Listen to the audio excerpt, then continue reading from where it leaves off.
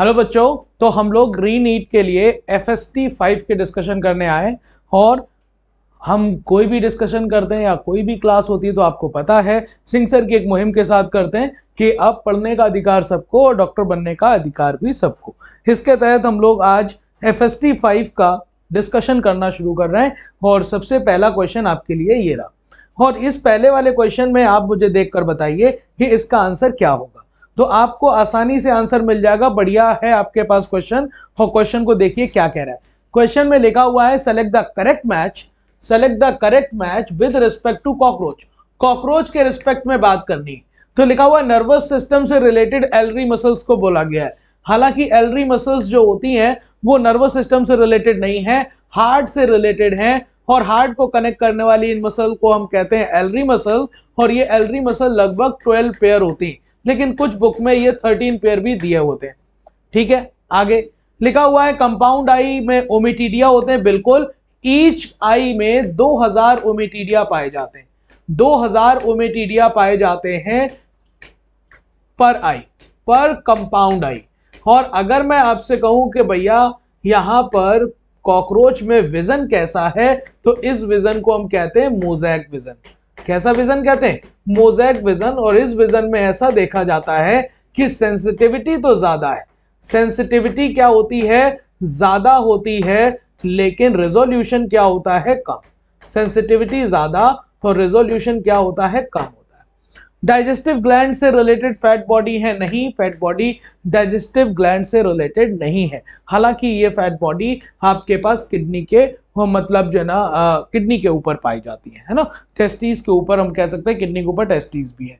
Hypopharynx आपके पास grinding के लिए हेल्प करती है? नहीं। ग्राइंडिंग रीजन जो है, वो आपके पास ग्राइंडिंग करने के लिए मैंडेबल जिम्मेदार है। कौन जिम्मेदार है? मैंडेबल ठीक है? और आपके पास हाइपोफेरिंग्स को किससे रिलेटेड बोलते हैं तो ये टंग से रिलेटेड हम बात करते हैं, इसे ऑल्सो नोन एज टंग कहते हैं, ठीक है? तो आपके पास सही जवाब तो सेकेंड हो गया बेटा। वन ज़ीरो वन का सेकेंड आगे देखिए। लिखा हुआ एसेशन में in close circulatory system the blood is circulated through a series of vessels of varying diameter arteries veins और कैपलरीज। बिल्कुल बात सही है, क्लोज सर्कुलेटरी सिस्टम में ऑर्गन्स तक ब्लड वेसल्स के ज़रिए ब्लड को पहुँचाया जाता है, जो कि वेरी करता है। मतलब आपको आर्टरीज में बटा होगा, वेन्स में बटा होगा और कैपलरीज में। बेटा एक बात याद रखना कि ओपन सर्कुलेटरी सिस्टम और क्लोज सर्कुलेटरी सिस्टम में बेसिक अंतर होता है कैपलरीज का। कैपलरीज आपको क्लोज सर्कुलेटरी सिस्टम में देखने को मिलेंगी, लेकिन कभी भी आपको ओपन सिस्टम में कैपलरीज देखने को नहीं मिल सकती, लेकिन लार्ज वेसल ज़रूर देखने को मिल जाते हैं in the open circulatory system. तो रीजन में लिखा हुआ है, because close time circulatory system is present in arthropoda, और ये बात गलत है। आर्थ्रोपोडा में क्लोज सर्कुलेटरी सिस्टम नहीं होता, इसमें तो ओपन होता है। तो असर्शन सही, रीजन गलत है। आंसर आपके पास सेकंड आ जाएगा। आंसर क्या बन जाएगा बेटा? सेकंड बन जाएगा। आगे देखिए अगला क्वेश्चन फिर से स्टेटमेंट है। स्टेटमेंट लिखा blood is the medium of transport of oxygen and CO बिल्कुल बात सही है, क्योंकि ब्लड के ज़रिए ही गैसों का ट्रांसपोर्टेशन होता है। पर आपको पता है ऑक्सीजन का ट्रांसपोर्टेशन आरबीसी के ज़रिए कितना परसेंट होता है? अगर मैं कहूँ आरबीसी के ज़रिए होता है 97 परसेंट और तीन परसेंट जो है, वो आपका पास डिजोल्व स्टेट में होता है। किसके? डिजोल्व स्टेट किसमें? प्लाज्मा में।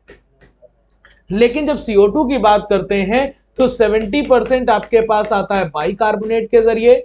बाइकार्बोनेट के ज़रिए 20 से 25 परसेंट जो है, वो आपके पास आएगा हीमोग्लोबिन के ज़रिए या फिर आरबीसी के ज़रिए, या फिर आरबीसी के ज़रिए, या फिर कहा जाए सेवन परसेंट जो होता है, वो प्लाज्मा में डिजोल्व होकर जाता है।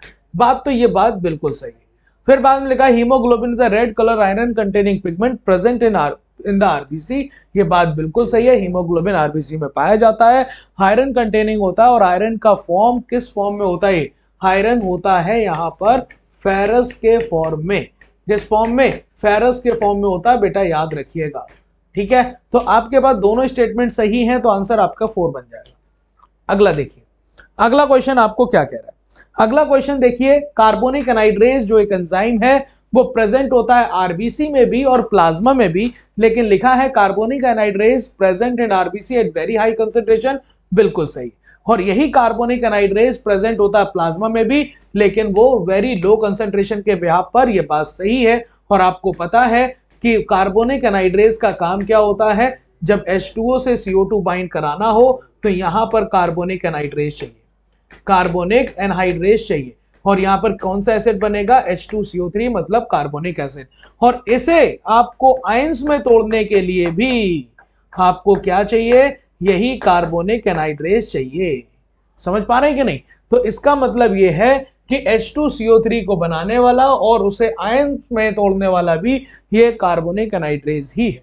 तो आपके पास दोनों बातें सही हैं। आंसर आपके पास फिर से फोर ही होने वाला है। आंसर फिर से क्या हो जाएगा?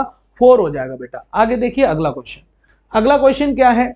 The role of oxygen in the regulation of respiratory rhythm centre is quite insignificant बिल्कुल बात सही है जो हमारे बॉडी हाँ, में जो रिसेप्टर्स होते हैं उन्हें हम कीमो रिसेप्टर्स कहते हैं जो कि डिटेक्ट करते हैं डिटेक्ट करते हैं H प्लस आइन कंसेंट्रेशन को और CO2 को। H प्लस आइन कंसेंट्रेशन और CO2 को डिटेक्ट करते हैं वो ऑक्सीजन को डिटेक्ट नहीं करते। इसी वजह से कहते हैं रोल क्या है ऑक्सीजन का? रेस्पायरेटरी सिस्टम में कैसा है, आपके पास उसके रेगुलेशन में क्वाइटली इनसिग्निफिकेंट है। और इम्फाइसिमा आपके पास क्रॉनिक डिसऑर्डर होता है, बिल्कुल होता है, और ये सिगरेट स्मोकिंग से होता है। स्मोकिंग बताइए कौन सा? सिगरेट स्मोकिंग से आपको लॉन्ग टर्म एक्सपोजर से क्या हो जाएगा? आपको इम्फाइसिमा हो जाएगा, आपके जो सरफेस एरिया बड़ा है वॉल डैमेज होने की वजह से सरफेस एरिया कम होगा और इम्फाइसिमा हो जाएगा। सांस लेने में दिक्कत और फिर बाद में कैंसर में भी बदल जाता है। आंसर आपके पास फोर हो जाएगा 105 का भी फोर आंसर है। 105 का आंसर क्या हो जाएगा बेटा? फोर ही हो जाएगा। आगे देखिए अगला क्वेश्चन अगला क्वेश्चन स्टेटमेंट लिखा है adrenal gland is composed of two type of tissue बिल्कुल सही है।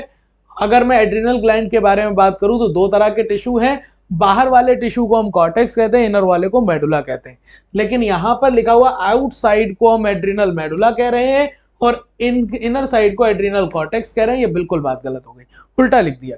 फिर लिखा human body has one pair of adrenal gland ये बात सही है। तो पहला स्टेटमेंट गलत, दूसरा सही, और इस तरह से आंसर आपके पास थर्ड बन गया। आंसर क्या बन जाएगा बेटा? थर्ड बन जाएगा। चलिए अगला देख।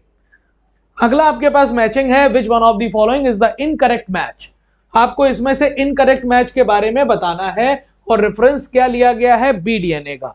है ना? बी डीएनए मतलब right handed right handed helix DNA का वॉटसन एंड क्रिक वाले डीएनए का। तो देखिए, आपसे कहा जाता है कि चलो मैं डीएनए के बारे में बात करता हूँ। तो इस डीएनए के बारे में बात करूँ तो ये आपके पास एक हेलिक्स या एक पिच कहलाती है। अगर इसके डायमीटर की बात करूँ तो ये बी सिंगल स्ट्रॉम का होता है। आपको पता है कि एक हेलिक्स में लगभग 10 बेस पेयर होते हैं। दो बेस पेयर के बीच की दूरी 3.4 एंगस्ट्रॉम की होती। अगर मैं पूरे हेलिक्स की बात करूँ तो 3.4 पॉइंट एंगस्ट्रॉम की एक हेले, एक बेस पेयर की दूरी तो लगभग 10 बेस पेयर होते हैं। इस तरह से ये चौंतीस एंगस्ट्रॉम का हो जाता है। ठीक है? देखिए क्वेश्चन में क्या लिखा डायमीटर में आपको 34 एंगस्ट्रॉम लिखा हुआ है, जो कि गलत है। डायमीटर तो लगभग 20 एंगस्ट्रॉम का होता है। Distance between two adjacent base pair 34 angstrom लिखा हुआ है, गलत है। ये होता है 3.4 एंगस्ट्रॉम का। फिर लिखा है distance between two complete turn. दो कंप्लीट टर्न के बीच की डिस्टेंस उसने 200 एंगस्ट्रॉम लिखी हुई है। ये बात भी बिल्कुल गलत है। ये 200 एंगस्ट्रॉम नहीं होगी तो दो कंप्लीट यूनिट के बीच का, दो कंप्लीट यूनिट के बीच का जो होगा, वो आपके पास एक हेलिक्स की दूरी होगी 34 पॉइंट थर्टी फोर एंगस्ट्रॉम ये बिल्कुल गलत है सारे, और आंसर फोर बन जाएगा। सारे के सारे यहाँ पर जितने भी मैचिंग दिए हुए हैं, सारे गलत हैं। आगे देखिए अगला। लिखा हुआ है कि देखिए which one of the following is correct is correct match बेटा, देखना थोड़ा सा ये मतलब जो है माइन्यूट आ गया है, थोड़ा सा ध्यान से देखना। मैं तुम्हें आंसर बता दे रहा हूँ। प्रोकैरियोट्स में न्यूक्लियोइड होता है, सही है। Histone positively charge basic protein लिखी। ये लिखा हुआ है, ये लिखा हुआ है यहाँ पर, मैं लिख देता हूँ पॉजिटिवली चार्ज प्रोटीन लिखा हुआ है। पॉजिटिवली चार्ज बेसिक प्रोटीन है ना? तो आपको यह बात समझ आनी चाहिए कि histone positively charge basic protein होती है हार्जिनिन और लाइसिन रिच फिर बाद में आर्जिनिन देखिए लिखा हुआ है, ये आर्जिनिन लिखा हुआ है, और आर्जिनिन के साथ उन्होंने सामने लिखा हुआ है कि ये है basic amino acid basic amino acid की बात लिखी गई है और ये बिल्कुल सही है arginine histidine lysine basic amino acid है। तो हम आपसे कह सकते हैं, ये तीनों बातें सही हैं और चौथे में ऑप्शन लिखा हुआ है ऑल ये लिखा हुआ है ऑल ऑफ़ दीज तो आंसर क्या बन जाएगा? आपके पास फोर हो जाएगा। ठीक है? आगे। आगे हमारे पास लिखा हुआ है statement one DNA is acidic substance present in nucleus was first identified Friedrich Miescher बिल्कुल बात सही ये सिर्फ़ फ्रेडरिक मिशर ने एसिडिक सबस्टेंस बोला था। सबसे पहले न्यूक्लियस के उस मटेरियल को एसिडिक सबस्टेंस बोलने वाले ये फ्रेडरिक मिशर थे। फिर लिखा, in RNA every nucleotide residue has an additional present at two des position in the ribose तो बिल्कुल बात सही है, आपको अगर राइबोस समझ आ जाए तो राइबोस का स्ट्रक्चर ये होता है, आपके पहले कार्बन पर भी ओ OH है, दूसरे कार्बन पर भी ओ OH है, तीसरे कार्बन पर ओ OH है, और फिर चौथे पे नहीं है, पाँचवें पर OH है तो एक, दो, तीन, चार, पाँच। तो अगर मैं आपसे ये कह रहा हूँ कि अगर इस राइबोस से, ये क्या है? राइबोस शुगर है। और ये राइबोस शुगर आपको कहाँ पाई जाती? है आरएनए में। और राइबोस शुगर है तो राइबोस शुगर के टू डेस एंड से, अगर मैं क्या करूँ? टू डेस एंड से हम रिमूव कर दें ऑक्सीजन को। क्या रिमूव कर दें? रिमूव कर दें ऑक्सीजन को। तो बताइए क्या बदलता है? तो ये बदल जाएगा बदल जाएगा आपके पास डीऑक्सीराइबोज में। तो डीऑक्सीराइबोज का फॉर्मूला ये हुआ, देखिए। ये यहाँ पर ओ OH है, यहाँ पर अब ओ OH नहीं होगा, यहाँ पर ओ OH होगा और यहाँ पर ओ OH होगा। इसका मतलब ये बात बिल्कुल सही है कि भाई, आपको आरएनए में additional O H two dash position पर देखने को मिलेगा, लेकिन डीऑक्सीराइबोज में देखने को नहीं मिलेगा। और नाम से ही सुनिए कि राइबोज से डीऑक्सीराइबोज कैसे बना क्योंकि डी मतलब रिमूव होना ऑक्सी मतलब ऑक्सीजन कौन सी पोजीशन से? टू डेस पोजीशन से. ठीक है? दोनों स्टेटमेंट बिल्कुल सही हैं. आंसर 109 का 109 का फोर हो जाएगा. ठीक है? आगे. अगला क्वेश्चन देखिए और अगला क्वेश्चन बताइए आपके पास. देखिए कितना बढ़िया क्वेश्चन है. लिखा हुआ which of the following statement is true for genetic code तो आपको सेलियंट फीचर की बात करनी है और आपको पता है salient feature of genetic code क्या क्या होते हैं. सेलियंट फीचर में अगर मैं आपसे कहूँ कि salient feature of genetic code में आपको क्या क्या फीचर पता है तो AUG का डुअल फ़ंक्शन होता है बिल्कुल, क्योंकि ये इनिशिएशन कोडॉन भी है और मिथ्योनिन को भी कोड करता है। सही बात। फिर बात लिखा हुआ है genetic code is nearly universal बिल्कुल बात सही है कि कोई भी जेनेटिक कोड किसी भी ऑर्गेनिज्म में सेम काम करता है। एयूजी मिथ्योनिन का, का लाने का काम कर रहा है तो सारे ऑर्गेनिज्म में आपको मिथ्योनिन ही लाएगा एयूजी लेकिन कुछ ऐसे भी माइटोकॉन्ड्रियल पर पाए माइटोकॉन्ड्रिया पे पाए जाने वाले कुछ कोड और कुछ प्रोटोजोन्स में पाए जाने वाले कोड थोड़े डिफर करते हैं। इसी वजह से यहाँ पर टर्म नियरली लिखा हुआ है हॉल नहीं लिखा हुआ है। ठीक है? हालाँकि मोस्टली मतलब आपको ऐसे देखने को मिलेंगे जो जेनेटिक कोड है, वो कैसे हैं, वो है आपके पास यूनिवर्सल हर तरह सेम काम करते हैं। जेनेटिक कोड डीजनरेट होते हैं मतलब एक अमीनो एसिड के पास एक से ज़्यादा जेनेटिक कोड हो सकता है। वो छः भी हो सकते हैं, वो चार भी हो सकते हैं, वो तीन भी हो सकते हैं, वो दो भी हो सकता है, एक भी हो सकता है, लेकिन पाँच नहीं होते। आपके पास codon is read in M R N A in a contiguous fashion बिल्कुल बात सही है कॉन्टिजियस फ़ैशन का मतलब उसमें कोई कॉमा वगैरह नहीं होता डायरेक्ट कोड लिखे होते हैं ए यू जी सी डी सी तो आपके पास ये कोड लगातार लिखे रह लिखे रहेंगे एम आर एन ए पर तो आपको ये देखना पड़ेगा कि वहाँ पर कोई भी कॉमा या कोई भी डैश नहीं पाया जाता। तो ये सारी बातें सही हैं आंसर आपके पास फोर हो गया। सॉरी थर्ड हो गया, जिससे आपको सारे फीचर मिल रहे हैं। आगे, लिखा हुआ lac operon consist of one regulatory and three structural gene जिसमें जेड वाई और ए है। तो जेड वाई ए किसे कोड करता है? तो आपने पढ़ा होगा लैक ओपेरॉन में स्ट्रक्चरल जीन तीन है। जेड का काम बीटा गलेक्ट्रोसाइडेज वाई का काम वाई का हाँ, आपका नाम है परमिएज और ए का है ट्रांस एसिटाइलेज तो आपके Z के लिए बीटा गलेक्ट्रोसाइडेज है Y के लिए परमिएज है और A के लिए ट्रांस एसिटाइलेज है। बाकी आपके पास सारे ऑप्शंस गलत है। और आपको पता है बीटा गलेक्ट्रोसाइडेज का काम क्या होता है? लैक्टोज को उसके मोनोमर में तोड़ देना। मतलब लैक्टोज जो डाइसेक्राइड है, वही इंड्यूसर की तरह काम करता है। और आपको पता है, ये क्या करता है? ये लैक्टोज को ग्लूकोज और गलेक्टोज में ब्रेक करता है। आगे। अगला लिखा हुआ A U G codon has dual function बिल्कुल डुअल फ़ंक्शन है, अभी मैंने बताया। फिर बिकॉज़ करके आप रीजन पढ़िए, लिखा हुआ एज कोड फॉर सेरीन गलत हो गया भाई साहब सेरीन नहीं। यहाँ तो मिथियोनिन होना चाहिए था। क्या होना चाहिए था? Methionine methionine also act as initiator codon methionine की वाली बात गलत लिख दी है। सेरीन लिखा हुआ पर। मिथ्योनिन होना चाहिए था। इसका मतलब असर्शन सही रीजन गलत। तो बताइए आंसर आपके पास क्या हो जाएगा? वन वन टू का सेकेंड हो जाना चाहिए। ठीक है? आगे।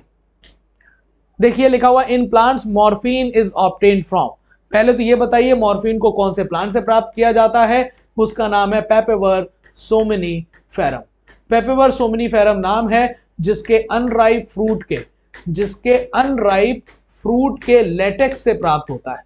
अनराइप फ्रूट के क्या होता है? लेटेक्स से प्राप्त होता है, हमें लेटेक्स से प्राप्त होता है लेटेक्स से प्राप्त होता है आपके पास मॉर्फिन और मॉर्फिन का एसिटाइलेशन करा दिया जाए तो वो किसमें बदल जाता है?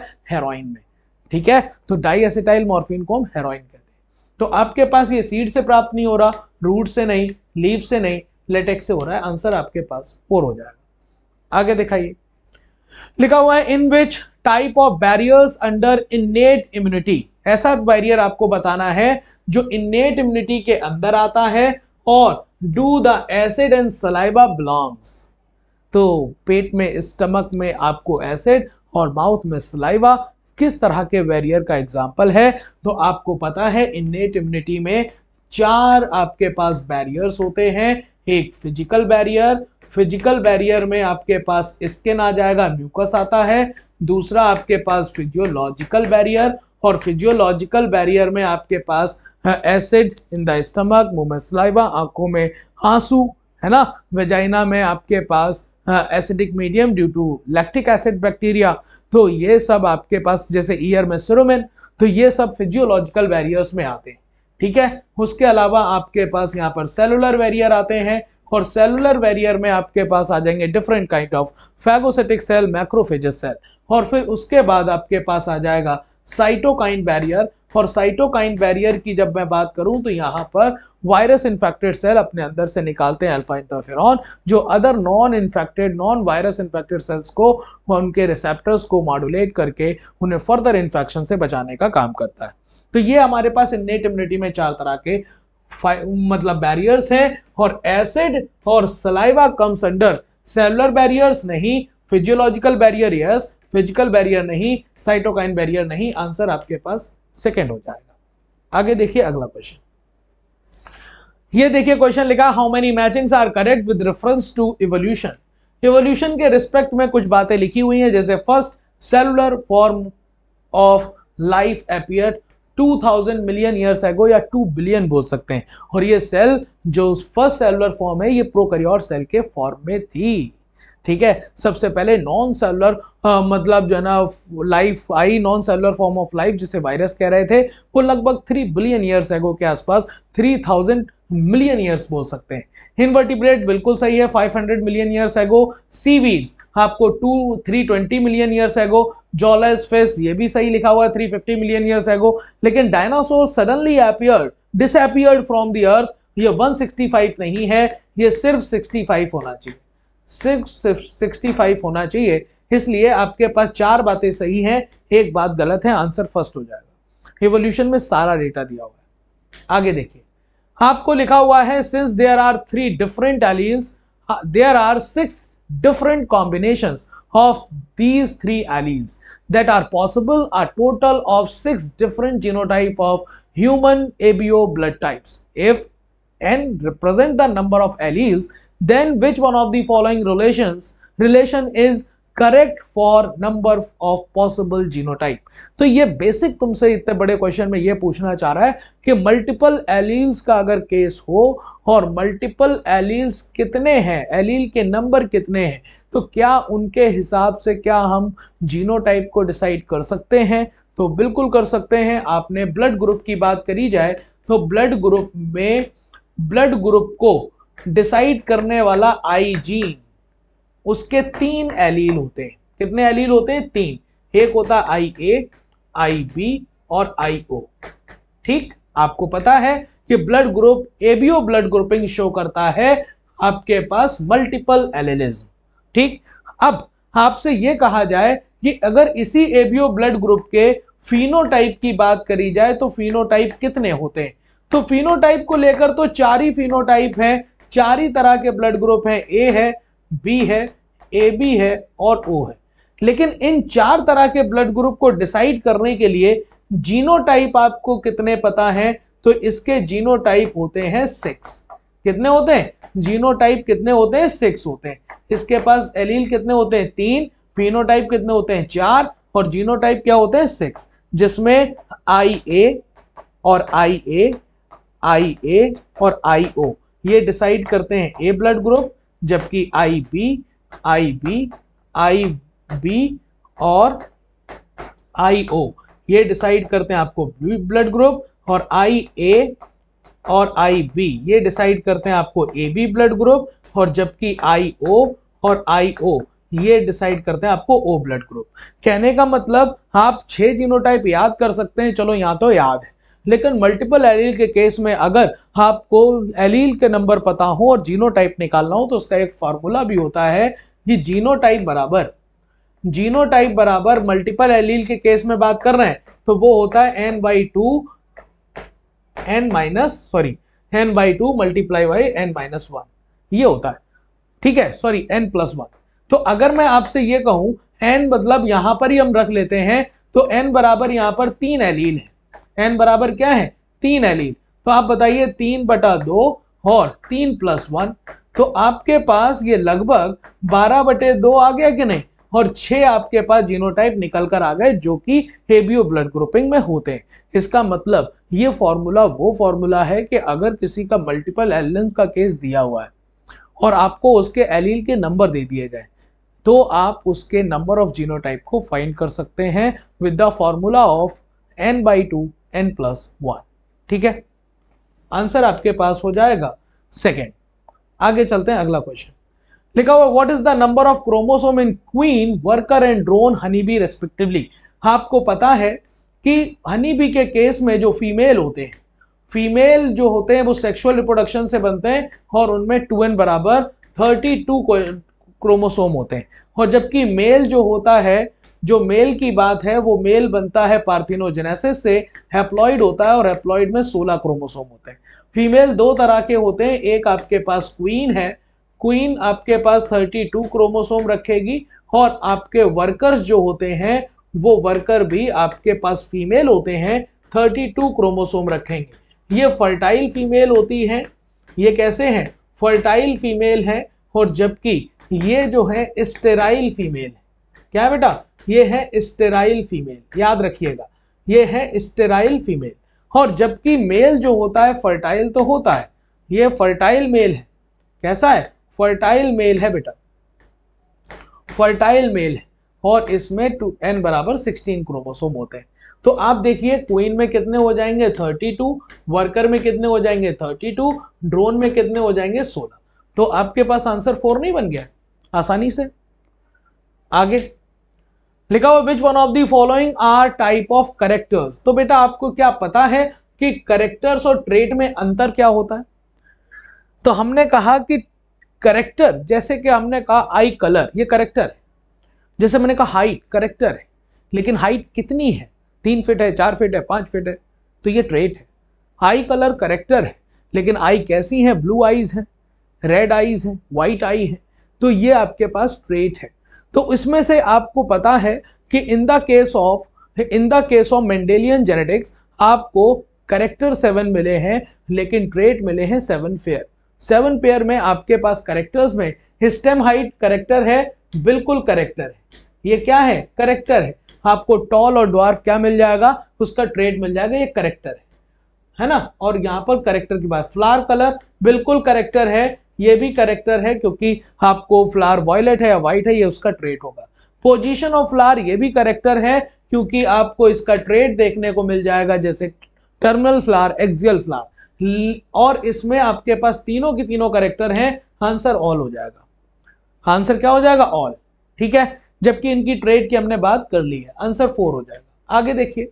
In human blood group is a good example of multiple allelism अभी बिल्कुल अभी बताया कि ब्लड ग्रुप जो है था ह्यूमन का मल्टीपल एलिलिज्म का एग्ज़ाम्पल है क्योंकि एक जीन दो से ज़्यादा एलील रखता है।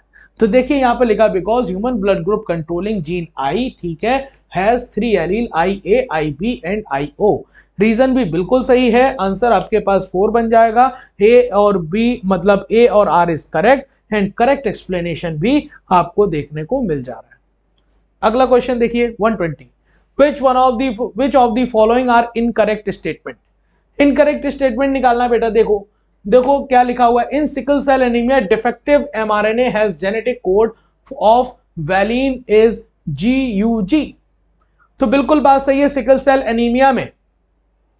आपको पता है कि भाई, आना चाहिए था ग्लूटामिक एसिड सिक्स पोजीशन पर, आ जाता है वैलिन आना चाहिए था जी ए जी आ जाता है जी यू जी तो आपके पास ये आपको एक जेनेटिक फॉल्ट है, जहाँ पर वैलिन आ जाता है, ठीक है? फिर लिखा phenylketonuria autosomal dominant rate है। ये बात गलत है। मायोटोनिक डिस्ट्रॉफी आयोटोनिक आपके पास ऑटोसोमल डोमिनेंट है, लेकिन ये नहीं, ये तो phenylketonuria autosomal recessive disease है, बेटा।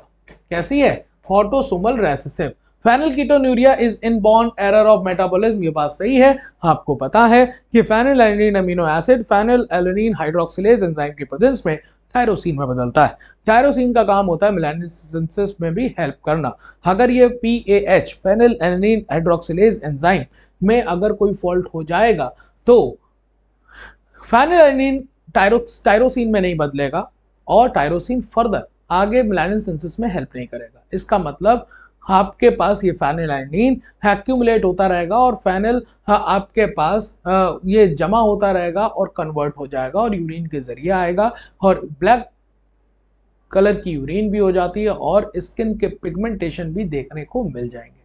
तो आपके पास ये आपको पता है फेनल कीटोन्यूरिया, आपके पास ये प्लियोट्रॉपी का भी एग्ज़ाम्पल है one gene carries more than one phenotype या फिर करेक्टर या फिर ट्रेट तो आपके पास इसमें गलत जवाब निकालना था तो सेकंड हो जाएगा। आगे, अगला। लिखा हुआ which of the following is incorrect statement which of the following is incorrect statement की बात कर रहे हैं? देखिए क्या लिखा है? Bulliform cell present in dorsiventral leaf बिल्कुल गलत है, क्योंकि बुल्ली फॉर्म सेल जो होती है, वो पाई जाती है मोनोकॉट लीफ में, जो कि आइसोबायलेट्रल होती है।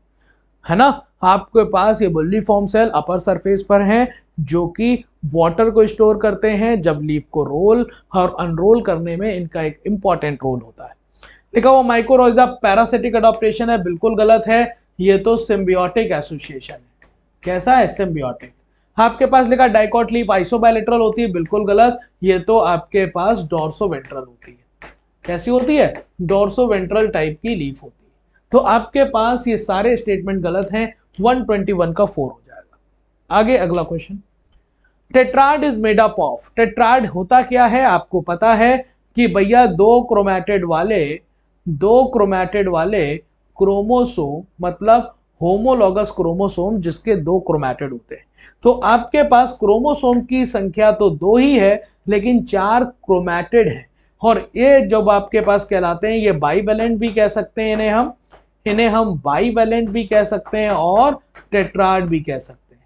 क्या कह सकते हैं? बाईवेलेंट और टेट्राड की फॉर्मेशन हुई थी आपको जाइगोटीन में। जाइगोटीन में होमोलोगस होमोलोगस क्रोमोसोम की पेयरिंग को हम साइनेप्सिस कहते हैं बाईवेलेंट का फॉर्मेशन या टेट्राड का फॉर्मेशन लेकिन tetrad are clearly seen in the pachytene जब यहाँ पर इनके बीच में लॉन्गिट्यूडनल स्प्लिटिंग होती है, जिससे वो अपने आर्म्स को मतलब अपने क्रोमैटिड्स को खोल लेते हैं। तब हम कहते हैं टेट्राड आर क्लियरली सीन तो पूछ रहा है कि टेट्राड बना कैसे? तो टेट्राड चार होमोलोगस क्रोमोसोम है, बिल्कुल नहीं। दो होमोलोगस क्रोमोसोम है और ईच विद टू क्रोमैटिड्स ये बात सही है। फोर नॉन होमोलोगस क्रोमोसोम है, नहीं। फोर की बात क्रोमोसोम पर है ही नहीं। क्रोमोसोम की संख्या तो दो ही है भाई। ठीक है? आगे। Mitotic cell division not occurs in तो mitotic cell division not occurs in diploid somatic cell में तो माइटोटिक हो जाएगा डिवीज़न लेकिन इनमें देखने को नहीं मिलेगा क्योंकि टीएमवी वायरस है टोबैकोमोजैक वायरस और ये भी वायरस है. ठीक है? तो ये अपने नंबर बढ़ाने का तरीका इनका अलग है, इनमें सेल डिवीज़न तो तब होगा ना जब ये सेल से बने होंगे. ये जो सेल डिवीज़न इनमें होगा नहीं, खुद ही ए सेलुलर स्ट्रक्चर कहलाते हैं. आंसर आपके पास फोर हो जाएगा. 123 का फोर आगे. लिखा हुआ which of the following statement is correct किसके रिगार्डिंग एस फ़ेज़ के रिगार्डिंग एस फ़ेज़ के रिगार्डिंग सही बात बतानी है. लिखा हुआ सेल इज़ मेटाबोलिकली एक्टिव बिल्कुल यार मेटाबोलिकली एक्टिव तो होगी, क्योंकि एस फ़ेज़ में डीएनए का डुप्लीकेशन हो रहा है सेंट्रियोल का डुप्लीकेशन हो रहा है तो मेटाबोलिकली इनएक्टिव नहीं बोल सकते. लिखा हुआ continuous growth of the cell बिल्कुल यहाँ पर ग्रोथ हो रही है. पूरे इंटरफेज में ग्रोथ होती रहती है. फिर लिखा हुआ है रेप्लीकेशन ऑफ़ डीएनए होता है, बिल्कुल। हम तो कह रहे हैं यहाँ सेंट्रियोल का डुप्लीकेशन भी लिख देते वो भी बात सही थी। तीनों बातें सही हैं। First second third are correct क्या मैं आंसर 124 के थर्ड पर जा सकता हूँ? बताइए। ठीक है? अगला बताओ। अगला ये फ़ोटो देखकर बताइए कि select the correct option for the given diagram तो आपको पता है, ये शुगर है और यहाँ पर ओ OH जोड़ा हुआ है तो ये राइबोज शुगर है। हालाँकि कलर आपको नहीं दिख रहा होगा, लेकिन मैं बता दे रहा हूँ, ये कौन सी शुगर है? राइबोज है। और ये एडेनिन जुड़ा हुआ है इसका मतलब ये है कि ये है शुगर प्लस बेस का कॉम्बिनेशन और शुगर प्लस बेस के कॉम्बिनेशन को हम कहते हैं न्यूक्लियोसाइड क्या कहते हैं? न्यूक्लियोसाइड कहते हैं और शुगर और बेस में बीच में जो बॉन्ड होता है, उस बॉन्ड का नाम होता है ग्लाइकोसिडिक बॉन्ड कौन सा बॉन्ड ग्लाइकोसिडिक बॉन्ड तो बताइए, ये क्या हो गया? तो ये एडेनिन है तो ये हो जाएगा एडिनोसिन ये न्यूक्लियोसाइड नाम लिखना पड़ेगा। ये एडेनिन नहीं है एडिनोसिन है। एडनाइलिक एसिड नहीं है न्यूक्लियोटाइड थोड़ी ना है। ये तो आंसर आपके पास सेकंड हो जाएगा। हेडनाइलिक एसिड तब बोलते हैं जब यहाँ पर फॉस्फेट जुड़ चुका होता। ठीक है? आगे। लिखा हुआ रीड द एग्ज़ाम्पल प्रॉपरली लिखा हुआ morphine abrin ricin gums vinblastine anthocyanin which many statement are correct how many statement are correct कितने करेक्ट है? तो आप मुझे बताना। मॉर्फिन मॉर्फिन एंड कोडीन याद आया? मॉर्फिन एंड कोडीन एल्कोलॉइड्स होते हैं। तो आपके पास सेकेंडरी मेटाबोलाइट्स हैं। सारे के सारे सेकेंडरी मेटाबोलाइट्स हैं, बिल्कुल हैं। मॉर्फिन भी है एब्रिन भी है रेसिन गम सारे के सारे ऑल हैव आइडेंटिफिएबल फ़ंक्शन तो ये जब सेकेंडरी मेटाबोलाइट हैं तो इनके आइडेंटिफिएबल फ़ंक्शन नहीं होते। इनका रेगुलर फिजियोलॉजी में इनका कोई भी रोल हमें नहीं पता। हालाँकि अभी तक कहा जाता है कि इनका कोई आइडेंटिफेबल फ़ंक्शन इनकी नॉर्मल फिजियोलॉजी में नहीं होता। हालाँकि डिफेंस में काम करते हैं ये कुछ केमिकल्स जो कि आपके पास एक तरीके का पैरासिटे वो सॉरी प्रेडेशन डिफेंस है। आपके पास देखिए all have not identifiable function at the moment बिल्कुल ठीक है। All are the primary metabolite नहीं। जब मैंने सेकेंडरी बोला तो ये प्राइमरी नहीं है। तो आपके पास सिर्फ़ और सिर्फ़ ए और सी सही है। और दो स्टेटमेंट सही है तो आंसर थर्ड बनेगा। दो स्टेटमेंट सही है आंसर क्या बन जाएगा? थर्ड दो स्टेटमेंट सही है। आगे देखिए अगला।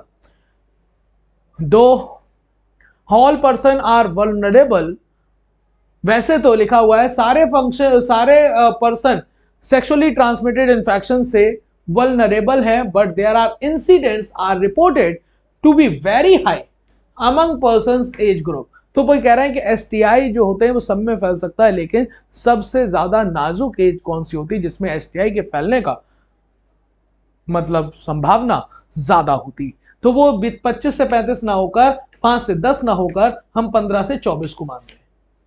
टीनेज से लेकर शुरुआती आपके पास रिप्रोडक्टिव फ़ेज़ मानते हैं, वो सेक्सुअली ट्रांसमिटेड इन्फेक्शन के लिए सबसे ज़्यादा वलनरेबल होती है। आगे देखिए। लिखा हुआ है ट्रैकिया डिवाइड होता है into primary bronchi at the level तो आपको पता है ये ट्रैकिया चल रहा है और ट्रैकिया आपके पास थोरेसिक फिफ्थ थोरेसिक वर्टिब्री से आपके पास क्या कर रहा है? ये क्या बट रहा है प्राइमरी ब्रोंकस में। आपको पता है ट्रैकिया प्राइमरी ब्रोंकस फिर सेकेंडरी ब्रोंकस फिर टर्शरी ब्रोंकस फिर आपके पास टर्मिनल ब्रोंकस फिर आपके इनिशियल मतलब लोब्यूलर ब्रोंक्यूल फिर टर्मिनल ब्रोंक्यूल एंड देन आपके पास एल्वलाई और उसकी डक पाई जाती है। आप देखिए कि ये कहाँ पर बटा हुआ है ट्रैकिया? तो ट्रैकिया बटा है सी फाइव पर। सी फाइव मतलब सर्वाइकल फाइव पर नहीं लंबर फाइव पर नहीं, आपके पास थोरेसिक टू पर नहीं। ये थम थोरेसिक फाइव की बात कर रहे हैं। फिफ्थ थोरेसिक वर्टिब्री ठीक है? आगे। Which one of the following is incorrect statement incorrect statement बताना है, बताना मुझे। देखिए, लिखा हुआ है ABA act as antagonistic to auxin auxin के एंटागोनिस्टिक एबीए काम करता है, हम कहेंगे नहीं, क्योंकि अगर मैं एबीए के एंटागोनिस्टिक किसी को रखूँगा तो जिब्रालिक एसिड को रखूँगा, क्योंकि जिब्रालिक एसिड या जिब्रिन वो होता है, वो आपके सीड जर्मिनेशन में हेल्प करता है, जबकि A B A abscisic acid seed dormancy को बढ़ाता है सीड जर्मिनेशन को रोकता है। तो ये आपके पास जिब्रालिक एसिड के एंटागोनिस्टिक है। Ethylene also called stress hormone बिल्कुल नहीं, ये भी एबीए का नाम है, इसे स्ट्रेस हार्मोन हम एबीए को कहते हैं। फिर देखिए लिखा हुआ है GA stimulate the closure of stomata ये भी बात गलत है स्टोमेटा के क्लोज होने में रोल एबीए का है। तो आपके पास सारे के सारे स्टेटमेंट गलत है भाई साहब। 129 के सारे के सारे स्टेटमेंट गलत हैं। ठीक है? आगे। Substance like cytokinin like activity is cytokinin जैसी एक्टिविटी यहाँ पर किसमें देखने को मिलेगी? टू फोर डी ऑक्सीजन है। इसकी एक्टिविटी देखने को नहीं मिलेगी। एब्सेसिक एसिड में नहीं मिलेगी। जियाटिन में मिलेगी क्योंकि आपके पास पता है काइनेटिन और जियाटिन इसी के प्रकर्सर होते हैं। आपके जियाटिन प्लांट सोर्स है, जबकि काइनेटिन एनिमल सोर्स होता है। हेरिंग्स आपके पास herring DNA autoclave herring DNA और फ़िश से निकाला गया था। पता है ना? आगे। आगे लिखा हुआ which of the following auxin is obtained from plant तो प्लांट से अगर ऑक्सीजन को रिमूव मतलब ऑप्टेन कर रहे हो तो हमें पता है कि तुम जाइए सिंथेटिक ऑक्सीजन के पास। सिंथेटिक ऑक्सीजन के पास सॉरी आपके पास नेचुरल ऑक्सीजन के पास। प्लांट से निकालोगे तो नेचुरल ऑक्सीजन के पास जाना पड़ेगा ना। तो नेचुरल ऑक्सीजन के नाम पर आपके पास कौन से नेचुरल ऑक्सीजन है? तो हम कह सकते हैं कि I A A indole acetic acid and indole butyric acid is the natural, आपके पास ऑक्सीजन। जबकि सिंथेटिक की बात करी जाए, सिंथेटिक जो आपके पास आर्टिफिशियल है, उसमें नाम है आपके पास नेफ्थिलीन एसिटिक एसिड का और टू फोर डी का। तो आपको प्लांट से अगर ऑक्सीजन प्राप्त करना है तो आप आईए से कर सकते हो आई से कर सकते हो, इससे नहीं कर सकते। आंसर फोर हो जाएगा। ओके अगला बताइए। लिखा हुआ which of the following statement is correct इसमें से कौन सा स्टेटमेंट करेक्ट है? देखिए। Basophil secrete heparin heparin histamine serotonin ठीक है, तीनों रिलीज़ करेगा। बेसोफिल सिक्रीट बेसोडाइलेटर वैसोडाइलेटर आपके पास केमिकल सब्सटेंस हिस्टामिन ठीक है, क्योंकि सिरोटोनिन वैसो कॉन्स्ट्रिक्टर होता है। और इोसिनोफिल दो से तीन परसेंट होते हैं डब्ल्यू की भी बात सही है। 132 का फोर ही होगा। 132 का आंसर फोर हो जाएगा, सारी बातें यहाँ पर सही हैं। ठीक है, अगला बताइए। लिखा हुआ decrease the level of several hormone in human maternal blood are necessary for maintenance of pregnancy ये वाली बात गलत हो गई, क्योंकि ये डिक्रीज लेवल नहीं होना चाहिए। ये तो होना चाहिए इंक्रीज लेवल ठीक है? फिर लिखा human female immediately after implantation the inner cell mass differentiate होता है आउटर लेयर ऑफ़ एक्टोडर्म में और इनर लेयर मीजोडर्म में। और फिर इन दोनों के बाद इनके बीच में एक और लेयर आती है जिसे हम कहते हैं मीजोडर्म है ना? तो एक्टोडर्म एंडोडर्म और मीजोडर्म करके तीनों जर्म लेयर पाई जाएँगी और उसी को हम कहेंगे एमनियोट्स ठीक है? तो आपके पास ये वाला स्टेटमेंट सही। एक गलत, दूसरा सही। आपके पास क्या आंसर थर्ड नहीं बना है? 133 का थर्ड बन गया बेटा, कोई प्रॉब्लम मुझे तो लगता है नहीं होगी। आगे देखिए अगला क्वेश्चन लिखा हुआ in human female sorry male accessory glands के बारे में बता रहा है पेयर्ड ऑफ़ समाइनल वेसाइकल ठीक है। सिंगल होती है प्रेस्टेट सही है। और डबल में आपको बल्बो यूरेथ्रल ग्लैंड या फिर कॉपस ग्लैंड पाई जाती है, ये बात भी सही है। क्या प्रॉब्लम है? फिर बाद में the penis is the male external external genitalia ये भी सही है।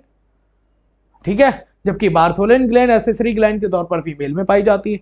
तो आपको दोनों स्टेटमेंट सही हैं, कोई प्रॉब्लम नहीं। आंसर फोर आगे।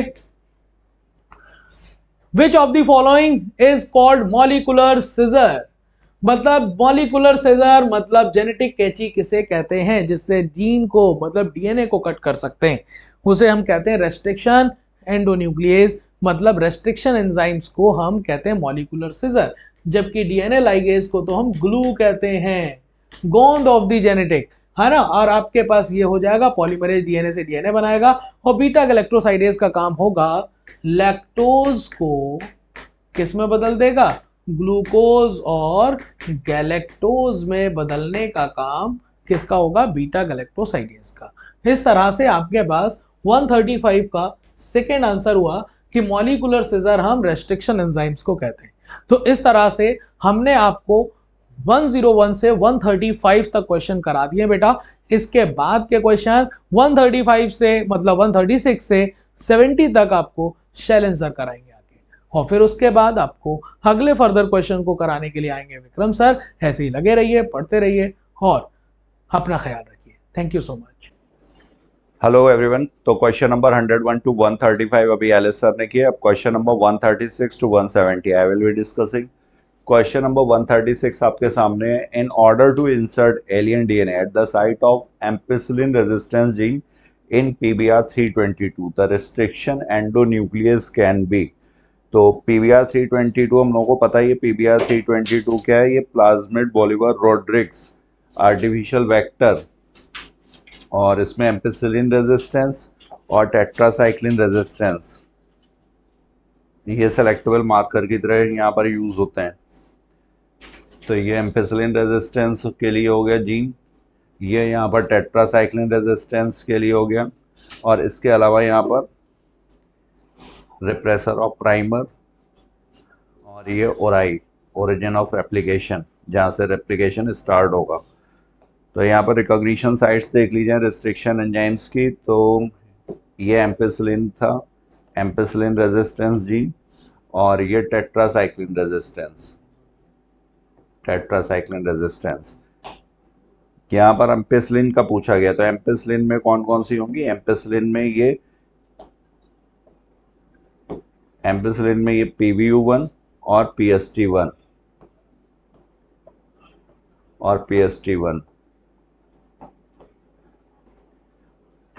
PV one क्या है प्रोटियस वलगैरिस और ये प्रोविडेंशिया स्टुअर्टी इसका पूरा नाम।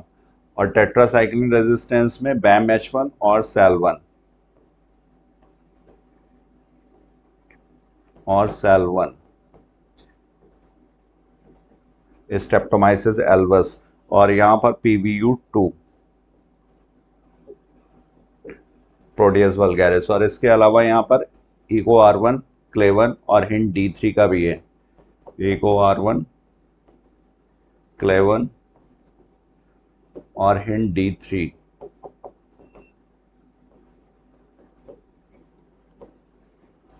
तो यहाँ पर दिया हुआ है P V U two Bam H one Eco R one और पी एस टी वन तो यहाँ पर क्या होगा? पी एस टी वन जो एम्पेसिलिन रेजिस्टेंस में प्रेजेंट है। और ये पीबीआर 322 322 इसे जो नंबर दिया गया है, वो इसे डिफ्रेंशिएट करने के लिए बाकी से, जो बाकी वहाँ पर बनाए गए थे आर्टिफिशियल वेक्टर्स उनसे डिफ्रेंशिएट करने के लिए, उनसे अलग करने के लिए से नंबर दिया गया था। पी के है? प्लाज्मिड है। बी आर जो है बॉलीवर और Rodriguez now we move to another question question number 137 in C four plants plasmodesmata are use for transport of तो सी फोर प्लांट्स में मीजोफिल और मीजोफिल के अलावा यहाँ पे बंडल शीत सेल्स होती है। तो मीजोफिल सेल्स में यहाँ पर फास्फोइनॉल पायरोट ये कार्बन डाइऑक्साइड एक्सेप्ट करता है। बाइकार्बोनेट के फॉर्म में ही आएगा और इसके बाद यहाँ पे बनेगा ऑक्जेलो एसिटिक एसिड और ऑक्जेलो एसिटिक एसिड से फिर बनता है मैलेट या एस्पार्टेट मैलिक एसिड या एस्पार्टिक एसिड और ये फिर ट्रांसपोर्ट होता है प्लाज्मोडेस्मेटा के थ्रू बंडल शीत सेल्स में। ये मीजोफिल सेल्स हो गई, ये बंडल शीट सेल्स हो गई। यहाँ पर ये आएगा। और इसके बाद फिर ये जो मैलिक एसिड आएगा, इसका यहाँ पर डीकार्बोक्सिलेशन होगा, जो कैलविन साइकिल के द्वारा फिक्स होता है। और मैलिक एसिड से जब डी हो जाएगा, ये चार कार्बन का था। मैलिक एसिड और एस्पार्टिक एसिड भी चार कार्बन के। और मैलिक एसिड से जब डिकार्बोक्सिलेशन हो जाएगा तो तीन कार्बन का प्रोडक्ट ये ट्रांसपोर्ट होता है फिर से बंडल शीत सेल से मीजोफिल सेल्स में। और तीन कार्बन वाला जो प्रोडक्ट बनता है, वो होता है पायरोवेट पायरोविक एसिड तो C four acid from mesophyll cells to bundle sheath cells C four from mesophyll cells to bundle sheath cells सही दिया हुआ है। C four acid from bundle sheath cells to mesophyll cells C four from bundle C to mesophyll ये गलत है। C four नहीं, यहाँ पर क्या होना चाहिए था? सी थ्री होना चाहिए था। C three acid from mesophyll cells to bundle sheath cells C three कहाँ से आएगा? सी थ्री आता है मीजोफिल सेल से बंडल शीत सेल्स में। ये भी गलत है। सी थ्री नहीं आता है। सी फोर आता है। और C three acid from bundle sheath cells to mesophyll cells C three meso C three from bundle sheath cell to mesophyll cell ये सही है। तीन कार्बन वाला जो पायरोवेट है, पायरोविक एसिड, ये ट्रांसपोर्ट होता है बंडल शीट मीजोफिल सेल में बंडल शीट सेल से। तो ए सही है और डी सही है। बाकी यहाँ पर बी और सी गलत दिए हुए हैं। तो 137 का करेक्ट आंसर होगा यहाँ पर first now we move to another question question number 138 photosynthesis के लिए दिया हुआ है। Only physical process only chemical process physico chemical process या एक्सर्गोनिक प्रोसेस तो फोटोसिंथेसिस क्या है? फोटोसिंथेसिस ये रिडॉक्स है पहली चीज़ रिडॉक्स रिएक्शन और दूसरा यहाँ पर क्या है? ये एंडरगोनिक प्रोसेस है. एक्सर्गोनिक नहीं एनर्जी देनी पड़ेगी. एनर्जी रिलीज़ नहीं होगी. और तीसरी चीज़ ये कैसा है? Physico chemical process physico chemical physico chemical किस वजह से? क्योंकि यहाँ पर रेडिएंट जो लाइट एनर्जी है, उसको कन्वर्ट किया जाता है केमिकल एनर्जी में। तो physico chemical process only physical गलत ओनली केमिकल गलत एक्सर्गोनिक गलत, यहाँ पर होना चाहिए 138 is third next question number 139 find the correct statement from the following statement in plants light saturation occurs at 10 percent of the full sunlight तो ये सही है 10 परसेंट ऑफ़ फुल सनलाइट पर प्लांट में लाइट सेचुरेशन हो जाता है, इसीलिए लाइट जो है रेयरली लिमिटिंग फैक्टर है। एक्सेप्ट डेंस फॉरेस्ट या फिर जहाँ पर शेडेड एरियाज़ हो, वहाँ पर लाइट लिमिटिंग फैक्टर हो सकता है। The concentration of carbon dioxide in atmosphere point zero three to point zero four percent ये भी सही दिया हुआ है। C three plant show saturation to carbon dioxide concentration beyond four fifty microlitre per litre ये सही है। और C4 प्लांट्स का सेचुरेशन आता है 360 माइक्रोलीटर पर लीटर इसीलिए जो प्रेजेंट इस समय जो एटमॉस्फेयर में कार्बन डाइऑक्साइड कॉन्सेंट्रेशन है, वो पूछा जाता है किसके लिए? तो ये 380 है माइक्रोलीटर पर लीटर लगभग लगभग. प्रेजेंट कार्बन डाइऑक्साइड कॉन्सेंट्रेशन तो ये किसके लिए सेचुरेशन सेचुरेशन हो गई सी फोर प्लांट्स के लिए. बट ये सी थ्री प्लांट्स के लिए, क्योंकि इसका सेचुरेशन है 450 तो इससे भी ज़्यादा हो सकते हैं, ये बढ़ाया जा सकता है। तो करेक्ट आंसर यहाँ पर, चारों ये स्टेटमेंट सही हैं A B C and D तो यहाँ पर राइट आंसर होगा all are correct 139 is fourth another question question number 140 which one of the following is correct match यहाँ पर करेक्ट मैचिंग पूछी गई है जर्मपोर जर्मपोर कहाँ पर? जहाँ पर एग्जाइन एबसेंट होता है। पोलिन ग्रेन में ये एग्जाइन और जहाँ पर ये स्पोरोपोलिन इनका जहाँ पर ये एबसेंट है, वहाँ पर जर्मपोर इंटाइन जो होगा यहीं से पॉलन ट्यूब बनाएगा। तो एम्ब्रियोसैक गलत दिया हुआ है। Pollen grain female gametophyte pollen grain क्या है? ये मेल गैमेटोफाइट है। मेल गैमेटोफाइट क्यों? क्योंकि ये माइक्रोस्पोर से बन रहा है। माइक्रोस्पोर जो होगा जर्मिनेट होकर के मेल गैमेटोफाइट या पॉलिन ग्रेन बनाता है। तो फीमेल गैमेटोफाइट गलत हो गया। फ्यूनिकल फ्यूनिकल स्टेमेन में। फिलामेंट प्रेजेंट होता है फ्यूनिकल नहीं। फ्यूनिकल कहाँ पर है? ओव्यूल में होता है। माइक्रोपाइल माइक्रोपाइल ओव्यूल से सही है। माइक्रोपाइलर एंड और चलेजल एंड जहाँ पर ये इंटेग्यूमेंट्स इनकम्प्लीट है। यहाँ पर ये बेसल एंड है। ये चलेजल जहाँ से ये अराइज हो रहे हैं, वो चलेजल एंड जहाँ पर ये एबसेंट है इनकम्प्लीट है, उसी एंड को बोलते हैं माइक्रो इस ओपनिंग को बोलते हैं माइक्रोपाइल और इस एंड को बोलते हैं माइक्रोपाइलर एंड तो करेक्ट मैचिंग यहाँ पर? Fourth 140 is fourth. Another question question number 141 which one of the following statement is correct यहाँ पर करेक्ट स्टेटमेंट पूछा गया। Tapetum is the innermost layer of microsporangium तो माइक्रोस्पोरेंजियम में टैपिटम इनर मोस्ट लेयर है nutrition provide करती है nourishment के लिए यूज़ होगी, सही है ये। और यहाँ पर प्लॉइडी पॉलीप्लॉइड कंडीशन होगी। मल्टी न्यूक्लिएट हो सकती है। और ये क्या बनाते हैं? ये यूबिश ग्रैन्यूल्स जो स्पोरोपोलिन के फॉर्मेशन के लिए भी होगा। तो स्पोरोपोलिन तो यहाँ पर cells of tapetum possesses dense cytoplasm सही है। सेल्स ऑफ़ टेपिटम जनरली है more than one nucleus multi nuclear condition है। तो ये सारे ये स्टेटमेंट यहाँ पर सही दिए हुए हैं। माइक्रोस्पोरेंजियम की वॉल में बाकी की जो तीन लेयर्स हैं एपिडर्मिस एंडोथीशियम और मिडिल लेयर वो डाइसेंस में हेल्प करती है टेपिटम जो होगी वो नरिशमेंट में। तो 141 का करेक्ट आंसर हो गया fourth given below are two statement assertion और रीजन असर्शन दिया हुआ है all cells of embryo sac are haploid embryo sac किससे बन रहा है? ये फीमेल गैमेटोफाइट है। मेगा स्पोर से बन रहा है। तो मेगा स्पोर से चूँकि बनेगा तो कैसा होगा? स्पोर कैसा होता है? Mega spore haploid functional mega spore जो होगा, वो हैप्लॉयड उससे ये एक स्ट्रक्चर आ रहा है गैमेटोफाइट तो गैमेटोफाइट वैसे भी सारे गैमेटोफाइटिक सेल्स कैसी होती हैं? हैप्लॉइड होती हैं।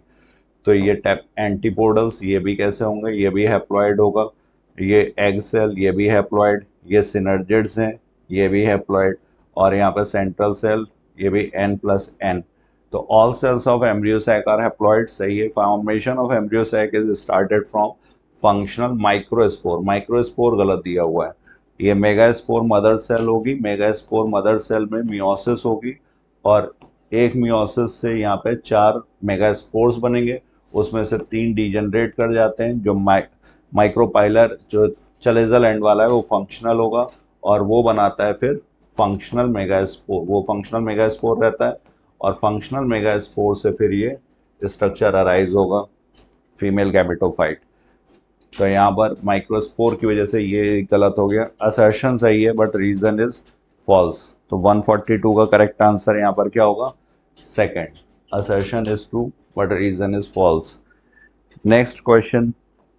143 in humans, cardiac muscles are striated in appearance. Cardiac muscles जो होते हैं, ये सिलेंड्रिकल हैं और ये ब्रांचिंग शो करते हैं। ये ब्रांच स्ट्रक्चर भी है।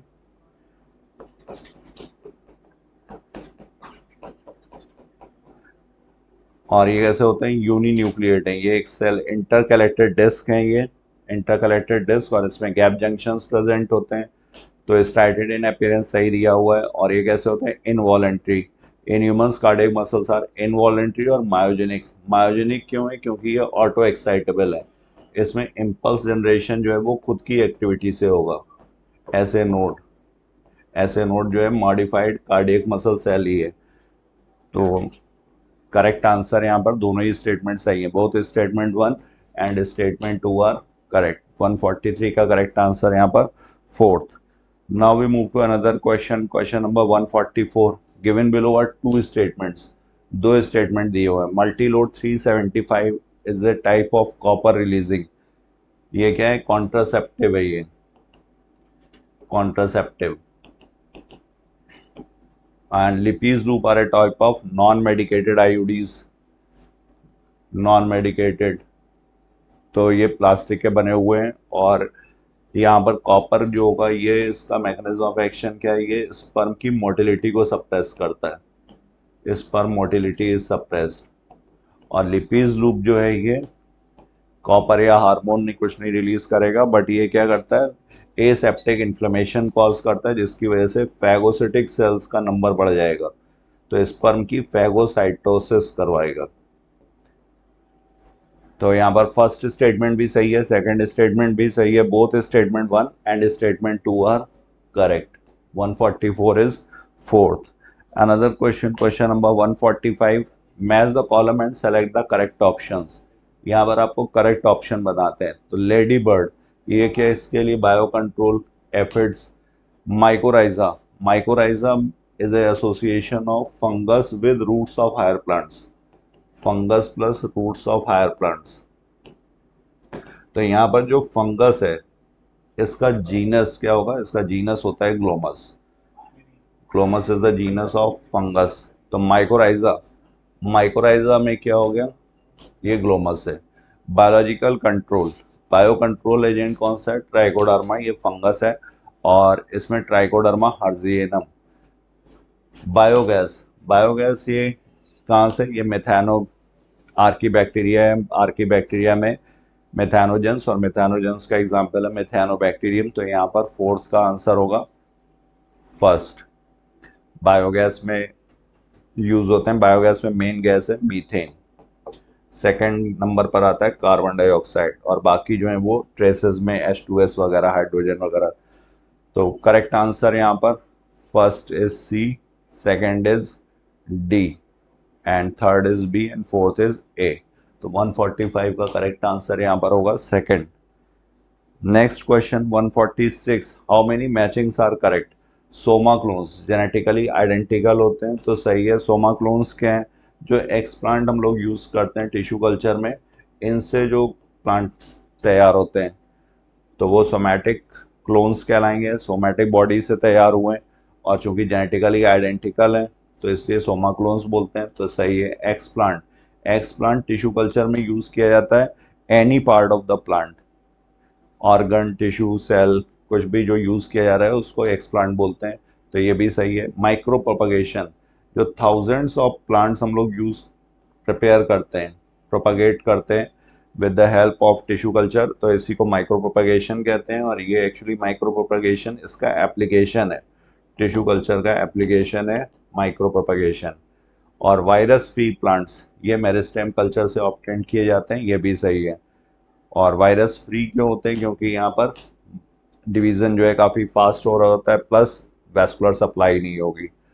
तो इस वजह से वायरस फ्री होता है ये मेरिस्टेम कल्चर तो 146 का करेक्ट आंसर यहाँ पर चारों ही सही दिए हुए हैं। 146 is second now we move to another question question number 147 human protein alpha one antitrypsin is use to treat तो अल्फ़ा वन एंटीट्रिप्सिन ये किसमें? ये एम्फाइसिमा एम्फाइसिमा किससे रिलेटेड है? सिगरेट स्मोकिंग से मोस्टली और इसमें एल्वियोलर वॉल गेट्स डैमेज जिसकी वजह से सरफेस एरिया जो होगा, गैसेस एक्सचेंज का, वो रिड्यूस हो जाता है।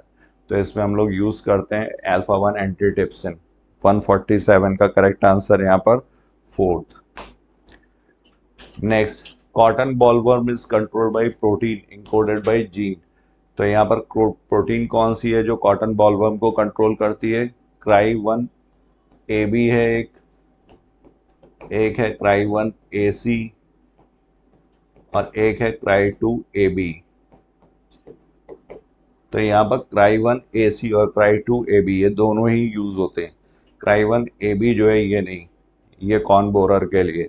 तो both one and two one forty eight का करेक्ट आंसर होगा third another question question number one forty nine assertion in gel electrophoresis dna moves towards the anode dna किसकी तरफ़ मूव करता है? एनोड की तरफ़। क्योंकि डीएनए कैसा है? पॉजिटिव चार्ज मॉलिक्यूल तो एनोड जो कैथोड है, ये इलेक्ट्रोड जो है, ये कैसा होगा? ये पॉजिटिव कैथोड जो होता है, वो निगेटिव तो डीएनए खुद कैसा होता है? डीएनए खुद निगेटिव होता है, इसी वजह से ये एनोड की तरफ़ मूव करता है. डीएनए पॉजिटिव चार्ज ये गलत दिया हुआ है। तो डीएनए कैसा है? निगेटिव और निगेटिव किसकी वजह से होता है? तो फॉस्फेट मॉलिक्यूल्स की वजह से। निगेटिव चार्ज होगा इनके पास। तो असर्शन सही है बट रीज़न इज़ फॉल्स 149 का करेक्ट आंसर होगा second next question 150 select the correct option for the given diagram यहाँ पर डायग्राम दिया हुआ है, ये sparged tank bioreactor sparged stirred tank bioreactor का टाइप है, और इसमें ये स्पार्जर लगा हुआ है। स्पार्जर क्या करता है, ये एयर बबल्स को इंजेक्ट करेगा इन्फ्यूज करेगा इसमें एयर बबल्स को। और एयर बबल्स क्या करते हैं ये? ऑक्सीजन के लिए surface better air surface area provide करेंगे, जिसकी वजह से माइक्रोबियल ग्रोथ अच्छी होगी कल्चर बेटर होगा फास्ट होगा। तो स्पाज स्टर टैंक बायोरिएक्टर यहाँ पर correct answer 150 fifty is second next question 151 which one of the following is the correct match यहाँ पर करेक्ट मैचिंग पूछी गई है एथीडियम ब्रोमाइड ये स्टेनिंग के लिए यूज़ किया जाता है। जेल इलेक्ट्रोफोरेसिस में और आ, और इसके बाद क्लोनिंग वेक्टर क्लोनिंग वेक्टर क्या है? ये बैक्टीरियोफेज तो क्लोनिंग वेक्टर सही है ये फॉरेन जीन को क्लोन करने के लिए रेप्लिकेशन के लिए वायरस और प्लाज्मिड मोस्ट कॉमनली यूज़ किए जाते हैं। तो ये सही है। P B R three twenty two ये आर्टिफिशियल प्लाज्मिड है। और P B R three twenty two में पी क्या है? ये प्लाज्मिड और बी हो गया बोलीवर एंड रॉड्रिग्स और थ्री ट्वेंटी टू इसको नंबर दिया गया है, बाकी प्लाज्मिड से डिफ्रेंशिएट करने के लिए। तो यहाँ पर भी मैचिंग क्या है, सारी सही है। 151 का करेक्ट होगा fourth next question 152 which one of the following is the incorrect match यहाँ पर इनकरेक्ट मैचिंग पूछी गई है। डीएनए डीएनए कैसा है? हाइड्रोफिलिक मॉलिक्यूल सही है डीएनए हाइड्रोफिलिक है। एक्वा सोल्यूशन में सॉलेबल होगा। इसकी एक्टिविटी के लिए ज़रूरी है ये। और हाइड्रोफिलिक किस वजह से? ये यहाँ पर फॉस्फेट ग्रुप की वजह से। फॉस्फेट में जो निगेटिव मॉलिक्यूल्स हैं, वो वाटर को अट्रैक्ट करेंगे हाइड्रोजन बॉन्डिंग होगी तो हाइड्रोफिलिक ऐसा ही है। Tumour preventing plasmid Agrobacterium Agrobacterium tumefaciens जो है, इसके पास टी आई प्लाज्मेट है। T D N A transfer D N A में। T I plasmid T I क्या ट्यूमर इंड्यूसिंग प्रिवेंटिंग यहाँ पर गलत दिया हुआ है। तो सेकंड यहाँ पर इनकरेक्ट हो गया। रेट्रोवायरस रेट्रोवायरस ये वेक्टर की तरह यूज़ होते हैं, सही है। इंसर्शनल इनएक्टिवेशन इंसर्शनल इनएक्टिवेशन ये किसमें होता है? ये बीटा गैलेक्टोसाइडेज जीन में होता है तो ये भी सही है। तो 152 का आंसर यहाँ पर होगा second next question which association group given the definition of biotechnology biotechnology की जो डेफिनेशन थी वो European Federation of Biotechnology EFB इन्होंने दी थी। और इसके अकॉर्डिंग क्या था? Integration of natural science and organism cells parts thereof and molecular analogues for products and services तो इसमें क्लासिकल प्लस मॉडर्न बायोटेक्नोलॉजी को इंटीग्रेट किया गया है। तो करेक्ट आंसर 153 का क्या होगा? Third next question 154 ventricle of frog contains तो वेंट्रिकल ऑफ़ फ्रॉग में यहाँ पर थ्री चैम्बर्ड हार्ट है। और यहाँ पर क्या होगा? मिक्सिंग होगी। राइट एट्रियम से जो ब्लड आएगा, वो कैसा होगा? वो डीऑक्सीनेटेड ब्लड और लेफ़्ट एट्रियम से जो आएगा, वो ऑक्सीनेटेड ब्लड तो यहाँ पर होगी mixing deoxygenated blood deoxygenated blood no blood तो यहाँ पर 154 का करेक्ट आंसर क्या हुआ? मिक्स ब्लड और यहाँ पर सर्कुलेशन अगर पूछा जाए तो यहाँ पर incomplete double circulation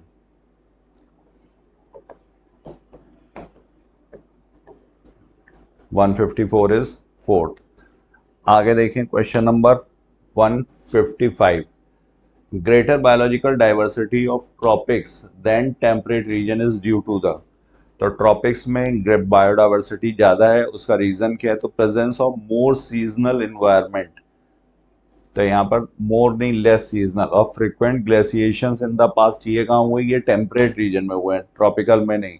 और highly variable climate and availability of less solar energy less solar energy नहीं इक्वेटर पर, जहाँ पर ट्रॉपिक रीजन है, वहाँ पर ज़्यादा सोलर एनर्जी आएगी तो लेस यहाँ पर गलत दिया हुआ है। हाईली वेरिएबल क्लाइमेट वेरिएबल नहीं होगा।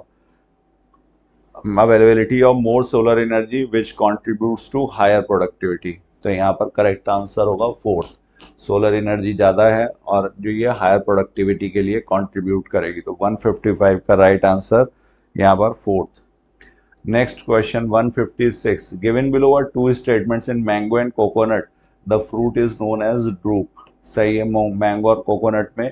और ये किससे डेवलप होता है? ये मोनोकार्पेलरी सुपीरियर ओवरी है दोनों में। मोनोकार्पेलरी सुपीरियर ओवरी से। और in mango the pericarp is well differentiated in an outer thin epicarp middle stony hard mesocarp and in inner fleshable fleshy edible endocarp तो यहाँ पर मिडिल स्टोनी हार्ड मीजोकार्प ये नहीं, और ये भी गलत दिया हुआ है। ये आपस में इंटरचेंज होने चाहिए। तो ये कैसा होगा यहाँ पर? मीजोकार्प कैसा होगा? फाइब्रस होगा। फ्लैशी और ये कैसा है? एंडोकार्प स्टोनी हार्ड तो ये स्टेटमेंट गलत हो गया। ये स्टेटमेंट सही है। 156 का first is correct but statement two is incorrect तो 156 का राइट आंसर होगा यहाँ पर। Second next question 157 The tiger census in our national parks and tiger reserve is often based on. तो ये डेंसिटी निकालने के लिए हम लोग इनडायरेक्टली भी मेज़र करते हैं। वैसे मोस्ट अप्रोप्रिएट जो है वो डायरेक्ट काउंटिंग की जाए तो इसके लिए क्या यूज़ करते हैं? टाइगर के लिए टाइगर के लिए pug marks and directly counting by seeing pug marks and faecal pellets only pug marks only faecal pellets तो ऑफन बेस्ड ऑन ऑफन जो यूज़ किया जाता है वो मेथड है pug marks and faecal pellets 157 is first.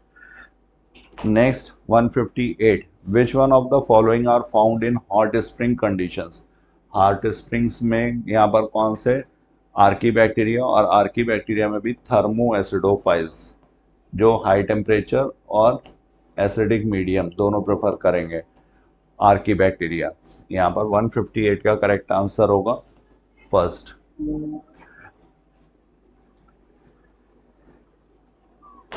Next which one of the following is not a functional unit of ecosystem तो functional unit या functional aspects अगर इकोसिस्टम के देखे जाएँ तो energy flow decomposition productivity stratification तो productivity होगी decomposition होगा एनर्जी फ्लो होगा और न्यूट्रिएंट साइकिलिंग ये होने चाहिए थे। स्ट्रेटिफिकेशन यहाँ पर गलत दिया हुआ है। स्ट्रेटिफिकेशन क्या है? Vertical distribution of different species तो 159 का करेक्ट आंसर होगा। Fourth next question 160 which one of the following is odd fragmentation humification stratification या मिनरलाइजेशन तो ये सारे स्टेप्स किसके दिए हुए हैं? ये डिकम्पोजिशन के। Fragmentation humification mineralisation leaching catabolism ये स्टेप्स हैं इसके। और स्ट्रेटिफिकेशन अभी हम लोगों ने देखा vertical distribution of different species तो ये स्ट्रेटिफिकेशन यहाँ पर गलत है। 160 correct answer is third now we move to another question which association exemplifies commensalism commensalism को कौन बताता है? तो कमेंसलिज्म किस टाइप का है? ये प्लस ज़ीरो टाइप का पॉपुलेशन इंट्रैक्शन का एग्ज़ाम्पल है। एक का फ़ायदा है, दूसरे का ना फ़ायदा है, ना नुकसान है। तो ऑर्किड एंड मैंगो ये एपीफाइट की तरह ग्रो करता है मैंगो प्लांट पर मैंगो ट्री पर। तो ये सही है। इग्रेट एंड बैलन ऑफ़ टेरा तो कैटल इग्रेट और ये किसके साथ कैटल के साथ होना चाहिए था? Birds silver fish and Adamsia यहाँ पर सिल्वर फ़िश नहीं, यहाँ पर क्या होना चाहिए था clown fish and barnacles and cattle barnacles किस पे बैलन ऑफ़ टेरा पे तो करेक्ट आंसर हुआ सिर्फ़ एक 161 is fourth. Next question. Which one of the following is the correct match with reference to biodiversity? तो बायोडाइवर्सिटी अगर देखी जाए यहाँ पर 162 तो यहाँ पर वन करेक्ट आंसर होगा फिशेस। 28,000 स्पीसीज बीटल्स इसकी थ्री लैक स्पीसीज हैं ऑर्किड्स और एंड्स इनकी 20,000 स्पीसीज तो फिशेस की होनी चाहिए थी 28,000 ये सही है। 162 is first next class Mammalia include families तो क्लास मेमेलिया में जो फैमिलीज़ हैं वो कौन सी है? फेलेडी और कैनेडी कैनेडी डॉग्स की फैमिली और फैलेडी कैट्स। और कानवालुलेसी और सोलेनेसी, ये किसमें ये ऑर्डर पॉलीमोनियल्स प्लांट्स की फैमिली। तो यहाँ पर both one and two will be the right answer 163 is fourth next question how many of the following found in the class deuteromycetes deuteromycetes की अगर बात की जाए तो ड्यूट्रोमाइसिटीज में fungi imperfecti perfect stages absent इसलिए इनको इम्परफेक्टाई फंगस बोलते हैं। और यहाँ पर देखे जाए तो ट्राइकोडर्मा होगा। कोलेट्रोट्राइकम अल्टरनेरिया तीन एग्जाम्पल्स एनसीईआरटी में दिए हुए हैं। तो ये सारे एग्ज़ाम्पल किसके? ड्यूट्रोमाइसिटीज के। 164 का करेक्ट आंसर होगा first next question 165 Venus fly trap is an example of Venus fly trap किसका एग्ज़ाम्पल है? तो ये type of insectivorous plant type of parasitic fungi type of parasitic animal more than one option are correct तो यहाँ पर Venus fly trap ये किसका हुआ? टाइप ऑफ़ इंसेक्टिवोरस प्लांट है। और ये कैसा होगा? पार्शियली हेट्रोट्रॉफ इंसेक्टिवोरस ये क्यों है? क्योंकि जहाँ पर ये ग्रो करते हैं, वहाँ पर नाइट्रोजन की कमी है। तो नाइट्रोजन की कमी को पूरा करने के लिए सेक्स पर फ़ीड करते हैं। वैसे ही यह ऑटोट्रॉफिक है। तो पार्शली एट्रोट्रॉफिक और डायोनिया इसका साइंटिफिक नेम होगा डायोनिया वीनस फ़्लाइट रैप 165 के बाद क्वेश्चन नंबर 166 द स्ट्रोबलाई और कौन सा करेंट विच प्लांट्स तो स्ट्रोबलाई का फॉर्मेशन टेरोडोफाइट्स में भी है टेरोडोफाइट्स में सिलेजिनेला और एक्विसिटम सिलेजिनेला हेट्रोस्पोरस है एक्विसिटम होमोस्पोरस है. दोनों में स्ट्रोबलाई बनते हैं और पाइनस पाइनस में मेल कोन और फीमेल कोन ये सेम प्लांट पर है मोनोशियस टाइप का प्लांट है. तो करेक्ट आंसर होगा 166 का fourth next question 167 axile placentation is found in all the following plants except तो ये चाइना रोज, टोमेटो, लेमन, इन सभी में प्रेजेंट है एक्साइल प्रेजेंटेशन सनफ्लावर सनफ्लावर में बेसल प्रेजेंटेशन है। सनफ्लावर और मैरीगोल्ड एग्जांपल्स दिए हुए हैं बेसल प्रेजेंटेशन के सिंगल ओव्यूल प्रेजेंट होगा बेस ऑफ़ द ओवरी से अराइज होता है। प्रेजेंटेशन के arrangement of ovules pattern of arrangement of ovules in the ovary तो 167 का करेक्ट आंसर होगा third next question 168 in which class of algae stored food is Floridean starch Floridean starch ये stored food है किसमें Phaeophyceae Rhodophyceae Chlorophyceae या Xanthophyceae तो Floridean starch in red algae और एक इसके सिमिलर है? Amylopectin and glycogen in structure amylopectin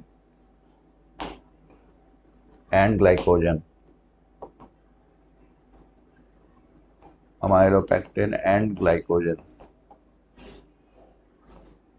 इसके सिमिलर है। तो यहाँ पर करेक्ट आंसर होगा 168 का second next question 169 169 in Cycas female cone is absent Cycas में फीमेल कोन एबसेंट है। सही है मेगा स्पोरोफिल्स यहाँ पर लेग्स हैं।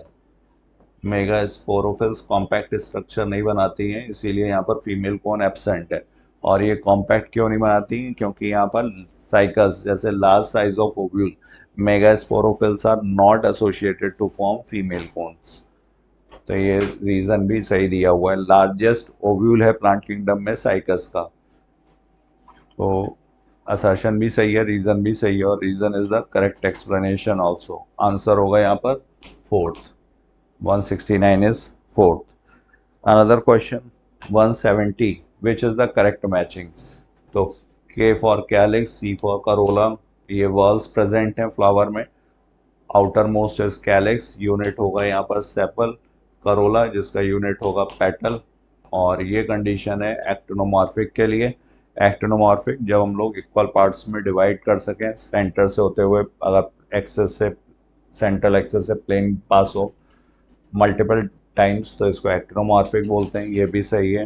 तो यहाँ पे करेक्ट मैचिंग होगी fourth all of the above तो 170 का आंसर हो गया fourth so we have covered all the questions 135 to 136 to 170 now further discussion will be carried by my fellow partner Vikram sir thank you all of you thank you so much hello बच्चों, new light YouTube channel पर आप सभी का स्वागत है। प्यारे बच्चों और मैं विक्रम चक्रवर्ती, आज आपके समक्ष लेकर के हाजिर हुआ हूँ ऑल इंडिया री के टेस्ट के क्रम में हमारा पांचवा टेस्ट है जो कि 6 जुलाई 2024 को हमारे इंस्टीट्यूट की तरफ़ से ये ऑनलाइन ऑफलाइन मोड दोनों पर हुआ है। ये हमारे डायरेक्टर सर का प्रयास इंस्टीट्यूट का प्रयास है कि नीट के एग्ज़ाम अगर होता है री, री नीट तो उसके लिए आप लोग को पहले से उसके लिए हम तैयारी के लिए आपको प्रिपेयर कर सकें। तो इसी क्रम में आज मैं आपके समक्ष लेकर के एक सौ इकहत्तर से दो सौ तक की पेपर डिस्कशन के लिए बायोलॉजी सेक्शन में हाजिर हुआ हूँ। और क्वेश्चन नंबर एक सौ एक से लेकर दो सौ तक की जर्नी हमारे सीन साथी अलीस और शैलेंद्र सर ने बहुत बखूबी बहुत ही शानदार तरीके से आपको ये सेशन कराया है। तो आइए देखते हैं क्वेश्चन नंबर एक सौ इकहत्तर से दो सौ तक की जर्नी। कुछ नहीं, आपके सामने लिखा है, यूरोसिल जेंटोफिल कुछ नहीं। आपको मैचिंग ये करना कि इस टाइप पे इस टाइप पे कुछ कंपाउंड लिखे हैं, कुछ केमिकल्स लिखे हैं, और आपको ये बताना कि भाई ये किस श्रेणी से बिलोंग करते हैं, कुछ नहीं। आपको पता यूरेसिल, जब आप नाइट्रोजनस बेस की बात करते हो तो आपको पता एक होता है प्यूरिन, और एक होता है प्रिमिडीन, और प्यूरिन तो आप सभी जानते हो कि एक होता है एडनीन, और एक होता है ग्वाइन, और जब प्रिमिडीन की बात करते हो तो यूरेसिल। और दूसरा क्या था भाई? साइटोसिन और थाइमिन। तो आपको इतना मालूम है कि नाइट्रोजन बेस, ये आरएनए में पाया जाता है और ये डीएनए में होता है। बाकी सब रेस्ट ऑफ़ डीएनए तो कॉमन होते हैं। तो ये समझ में आएगा कि भाई ये तो प्रिमिडीन है दैट इज़ ए फोर्थ अब ए फोर्थ ए फोर्थ यहाँ है थर्ड एंड फोर्थ नहीं हो सकता। जेंटोफिल कैरोटिन क्लोरोफिल ये सब के सब पिगमेंट होते हैं भाई। इतना तो आपको पता ही दैट इज़ बी फ़र्स्ट अब ये आंसर हमारा आ गया। First answer. कुछ नहीं, ग्लाइकोजन जो होता है, ये एनिमल की बॉडी में स्टोर्ड होने वाला पॉलीसेक्राइड है, जो कि मोनोमर किसका होता है? ग्लूकोज का। ठीक? तो ये आ गया polysaccharide that is C second और ये रहा मॉर्फिन आपको पता है कि जब आप सेकेंडरी मेटाबोलाइट जो चार्ट आपकी बुक में बायोमालिकुल में बना हुआ है, उसमें आपका एक एल्कोलाइट की कैटेगरी भी दी गई थी, उसमें आपका ये मॉर्फिन आता है। ठीक? तो ये आ गया आपका डी थर्ड फ़र्स्ट आंसर अब देखिए सेसवेनिया आपको पता है कि जो फैमिली आपकी बुक में है, आपकी लेगुमिनेसी, उसकी तीन सब फैमिली से फेवेसी सीजल पेंडी मीमोसाइडी और फेवेसी में ये दोनों सेसबैनिया, ट्रेफोरिया, आपको पता है, इंडिगो, फेरा से नील निकलता है, और ये दोनों फोल्डर की तरह से इस्तेमाल होते हैं। इसके अलावा ग्राउंड नट है, सोयाबीन है, दालें हैं, अरहर है, मूंग है ठीक है सेम है बीन्स है, मटर है, ये सब के सब फेवेसी के सस्ते तो भाई ये फेवेसी होती है, उसमें खास बात होती है, इसमें जीवन कंडीशन होता है जाइगोमार्फिक होता है, आपको पता होना चाहिए, और एंड्रोसिन कितना होता है, दस होता है। दैट इज़ फोर्थ आंसर आप देखिए तो फॉलोइंग कुछ नहीं, आपको पता था कि जब आप एपीथीलियम की बात कर रहे थे तो इसमें एक सिंपल ठीक, और एक है कंपाउंड ठीक, और कंपाउंड एपीथीलियम जो होती है, वो स्किन में पाई जाती है, आपको पता है that is A fourth A fourth A fourth A fourth ठीक? अब देखिए, आपको मालूम था कि ग्लैंड क्या होती है? ऐसी वो इपिथीलियम जो सिक्रेटर सिक्रीशन करने लगती है तो इसका ग्लैंड जो होती है, वो इपिथीलियल ओरिजिन की होती है। और ग्लैंड दो प्रकार के डक्ट के बेस पर डक्टलेस और डक्ट वाले। तो डक्ट वाले को एक्जोकाइन कहते हैं, जिनका सिक्रीशन मिल्क हो सकता है स्लाइवा हो सकता है डाइस्टिव एंजाइम हो सकता है। और डक्टलेस ग्लैंड जो होती है, उनका सिक्रीशन हार्मोन होता है। जितनी डाइस्टिव ग्लैंड होती है एक्जोकाइन होती हैं। जितनी हेंडो जितनी हार्मोन सिक्री वो एंडोकाइन होती हैं। ठीक तो भाई एक्सोकाइन ग्लैंड कहाँ हो गया? तो डाइस्टिव एंजाइम होगा दैट इज़ बी थर्ड और एंडोक्राइन इंसुलिन एक हार्मोन अस्सी सी थर्ड सेकेंड और आपको पता था कि जब कनेक्टिव टिश्यू की आप क्लासिंग किए थे तो उसमें भी एक एग्ज़ाम्पल था लूज और डेंस और डेंस में भी दो प्रकार के, एक था रेगुलर और एक था इरेगुलर रेगुलर का एग्ज़ाम्पल क्या था? टेंडन और लिगामेंट और डेंस इरेगुलर था स्किन में पाया जाता है, ठीक? तो यहाँ डेंस रेगुलर पूछा गया दैट इज़ डी फ़र्स्ट तो ये रहा B third C second D first first answer अब देखिए, जब काकरोच की आप बात करते हो तो जो उसकी आई होती है, वो कंपाउंड आई होती है। कंपाउंड आई का मतलब मोर देन वन लेंस से बना होता है, इसकी यूनिट होती है ओमेटीडिया और आपको ये बताया गया था, हर एक आँख में 2000 ओमेटीडिया होती है। तो इसका मतलब ओमेटीडिया क्या है? यूनिट ऑफ़ कंपाउंड आई है। That is A fourth A fourth A fourth ये गलत हो गया। अब फैलोमियर जो होता है, ये एक्सटर्नल जेनेटेलिया है मिल्क आक्रोच में।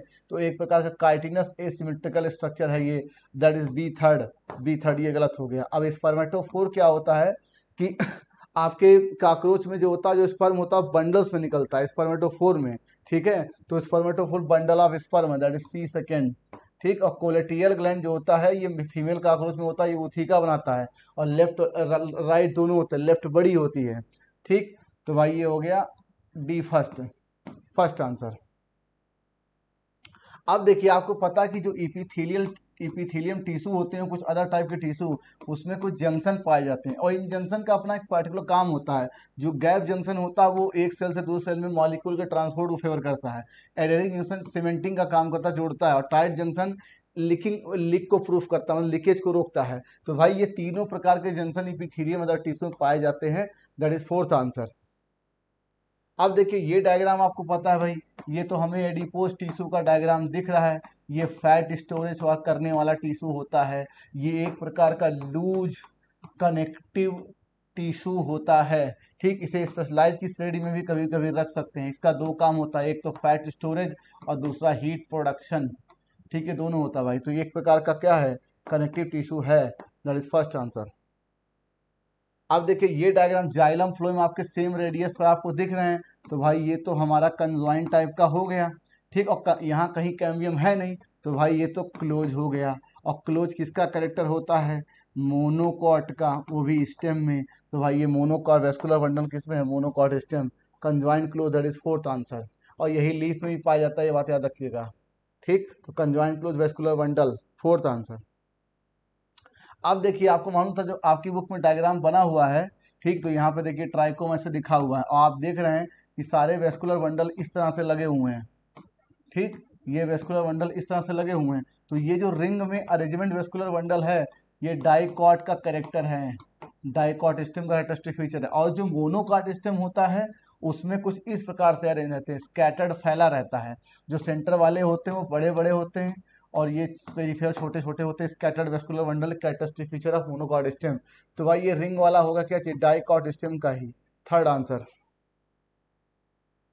अब देखिए, आपको पता था कि ये ऐसे स्ट्रक्चर बना, ठीक? और यहाँ से एफरेंट आर्ट्रियोल ये एफरेंट आर्ट्रियोल चल के आया और इनकी फ्रांचिंग ऐसे बनती गई। अब यहाँ पे टफ टॉफ कैपलरी बन गया। टफ टॉफ कैपलरीज बन गया। तो इसका नाम था ग्लोमेरुलस और ये था बॉमेंस कैप्सूल और इसमें जगह जगह पे ऐसे छोटे छोटे यहाँ पर कुछ सेल्स पाई जाती है पोडोसाइड और ये स्लिट का निर्माण करती हैं। अब जब यहाँ से एफेंट आर्टियोल से आता है तो बहुत प्रेशर से आता है तो यहीं से इन्हीं पोर्स के माध्यम से नेफ्रिक फिल्ट्रेट फिल्ट्रेशन होता है, जिसे आप बोलते हो ग्लोमेरुलर फिल्ट्रेशन क्यों? क्योंकि ग्लोमेरुलस से ही यहाँ से फिल्ट्रेशन होता है और फिर यहाँ से ये एफरेंट आर्टियोल निकल जाता है। ठीक तो इसका मतलब बोमन्स कैप्सूल में क्या होता है? ग्लोमेरुलर फिल्ट्रेशन सही है। फिर आपको मालूम है कि हेनले लूप में ये ये डिसेंडिंग और ये असेंडिंग ये वाटर के लिए परमिएबल है और ये वाटर के लिए इम्परमिएबल है, ये इलेक्ट्रॉन के लिए परमिएबल है। और इलेक्ट्रॉन मतलब आपको मालूम है, किसी भी चीज़ को कंसनट्रेट करना हो तो उससे पानी निकाल लो। किसी चीज़ को डाइल्यूट करना हो तो उससे पानी डाल दो। किसी चीज़ को कंसनट्रेट करना तो इलेक्ट्रोलाइट डाल दो उसके अंदर और फिर डाइट को इलेक्ट्रोलाइट निकाल लो। तो इसका मतलब अगर यहाँ पर वाटर इलेक्ट्रोलाइट का एक्सचेंज हो रहा है तो कहीं ना कहीं ये नेफ्रिक फिल्ट्रेट को कंसनट्रेट करती है और नेफ्रिक फिल्ट्रेट ही आगे चल के कटिंग डक से उसे यूरिन का नाम देते हैं। इसका मतलब अगर नेफ्रिक फिल्ट्रेट कंसनट्रेट हो रहा है तो यूरिन तो ऑलरेडी ऑब्वियसली सी बात है कंसनट्रेट हो रही है तो बिल्कुल सही है। और आप जानते हैं काउंटर करंट मैकेनिज्म जो कि कंसंट्रेशन ऑफ़ यूरिन के लिए रिस्पॉन्सिबल होता है, ये मैकेनिज्म हमारी बॉडी में पाता है, उसका एक पार्ट वासा रेक्टा होता है और दूसरा हिलने लूप होता है। तो ये बात बिल्कुल सही है। और पीसीटी में ऑब्जॉर्प्शन ऑफ़ होता है ये सोडियम पोटेशियम का और सेवेंटी टू एट्टी पर इलेक्ट्रोलाइट का वाटर का, इन सब का मेजॉरिटी ऑफ़ एब्जॉर्प्शन यही होता है। तो ये चारों, तीनों सही है भाई। फोर्थ आंसर अब देखिए, जब आप रेस्पिरेशन की बात करते हो रेस्पिरेशन तो इसके कई चरण होते हैं। ग्लाइकोलिसिस होता है ऑक्सीडी कार्बोसिन होता है क्रेप साइकिल होता है ईटीएस होता है। तो इन सब में अलग अलग टाइप के कंपाउंड बनते हैं, उनमें कार्बन आइटम की संख्या अवेरिएबल होती है। तो एस्टिल को एंजाइम में ये लिंक रिएक्शन ऑक्सीडिक कार्बन का प्रोडक्ट था। ये दो कार्बन सही है। सिट्रिक एसिड जो कि फ़र्स्ट स्टेबल प्रोडक्ट है क्रेप साइकिल का छः कार्बन सही है। और अल्फ़ा कीटोग्लोडरी की जब इसमें डी कार्बन होता है तो ये बनता है। और इसके बाद सक्सिन को एंजाइम बनता है। फिर सक्सिनिक एसिड तो ये चार कार्बन ये सभी के सभी कार्बन आइटम के हिसाब से सही है। A B C D that is second answer ठीक है, आप देखिए, आपको मालूम है कि जब आप फॉस्फो ग्लिसरेट, ठीक है? से फॉस्फो इनॉल पायरवेट बनता है तो यहाँ से वाटर मालिक्यूल रिलीज़ होता है। यह आपको पता है ठीक, इसका मतलब ग्लाइकोलिसिस के एक स्टेप में वाटर मालिक्यूल रिलीज़ होता है। लेकिन क्वेश्चन ये पूछा गया कि ऐसे मालिक्यूल का नाम बताइए, जो यूटिलाइज भी होता है और रिलीज़ भी होता है। सी और ऑक्सीजन कहीं पिक्चर में नहीं थे, इसलिए ये दोनों ऑप्शन तो हो नहीं सकते। मैटर फंसा इन दोनों में। तो ये बात तो समझ में आ गई कि वाटर मालिक्यूल यहाँ रिलीज़ होता है। अब ध्यान से देखिए ग्लूकोज से ग्लूकोज सिक्स फास्फेट ए यूटिलाइज हुआ। Fructose six phosphate fructose one six bi phosphate ए यूटिलाइज हुआ।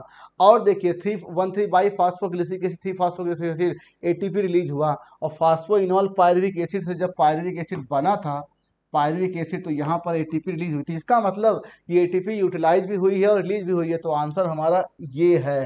दैट इज़ सेकेंड आंसर अब देखिए, कुछ नहीं, आपको ये बताया गया था कि चाहे रिपोर्टिव हेल्थ की बात करें, चाहे नॉर्मल हेल्थ की बात करें, ये चारों पैरामीटर फॉलो होगा। ये फ़िज़िकल होगा इमोशनल होगा बिहेवियर होगा सोशल होगा। ठीक है, ये चारों होंगे भाई। और आपको मालूम था कि दुनिया में इंडिया ही वो फ़र्स्ट कंट्री था जिसने फैमिली प्लानिंग स्टार्ट किया, लेकिन जो ईयर था वो वो उन्नीस इक्यावन था, इसलिए सेंटेंस गलत है। अब देखिए, कहते हैं इन्फेंट मॉर्टिलिटी रेट मतलब पैदा होने बच्चों के मरने की दर और मैटरनल मॉर्टिलिटी रेट अगर ये दोनों बढ़े मतलब मृत्यु दर बढ़े तो ज़ाहिर सी बात है कि पॉपुलेशन की ग्रोथ घटेगी।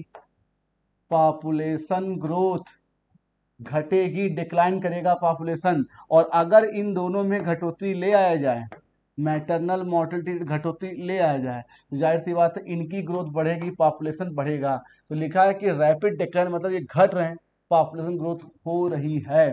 और एवियासिस तो आपको पता है कि एक प्रोटोजोवन डिज़ीज़ है जो कि एंटाइवा से होता है। ये सेंटेंस है तो ये दूसरा वाला ही गलत है सेकेंड आंसर अब देखिए, आपको मालूम था कि जब आप मियोसिस की बात करते हो मियोसिस तो इसमें एक होता है फ़र्स्ट एक होता है सेकेंड और फ़र्स्ट में भी कौन?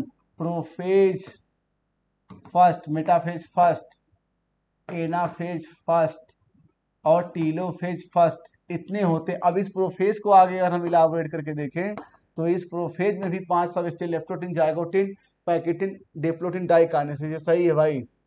ठीक है? तो ये फ़र्स्ट आंसर ठीक है? तो ये रहा आपका leptotene zygotene pachytene diplotene diakinesis अब देखिए, ये कहा जाता है कि सपोज़ दैट अगर आप पॉन्ड इकोसिस्टम को समझें, जैसे उसमें होता है पहले फाइटोप्लैंक्टन अगर हम पॉन्ड इकोसिस्टम को एज ए बनाते हैं फाइटोप्लैंक्टन इसे कौन फ़ीड करेगा?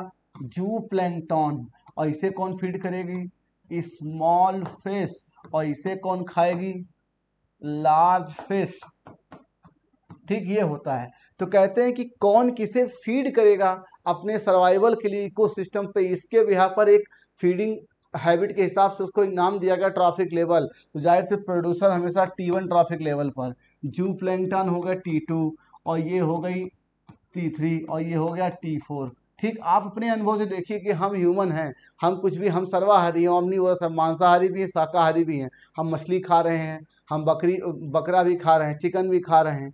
ठीक कभी कभी ज़रूरत पड़ी, सांप मार के भी खा जाते हैं। ठीक, आपने देखा ही है।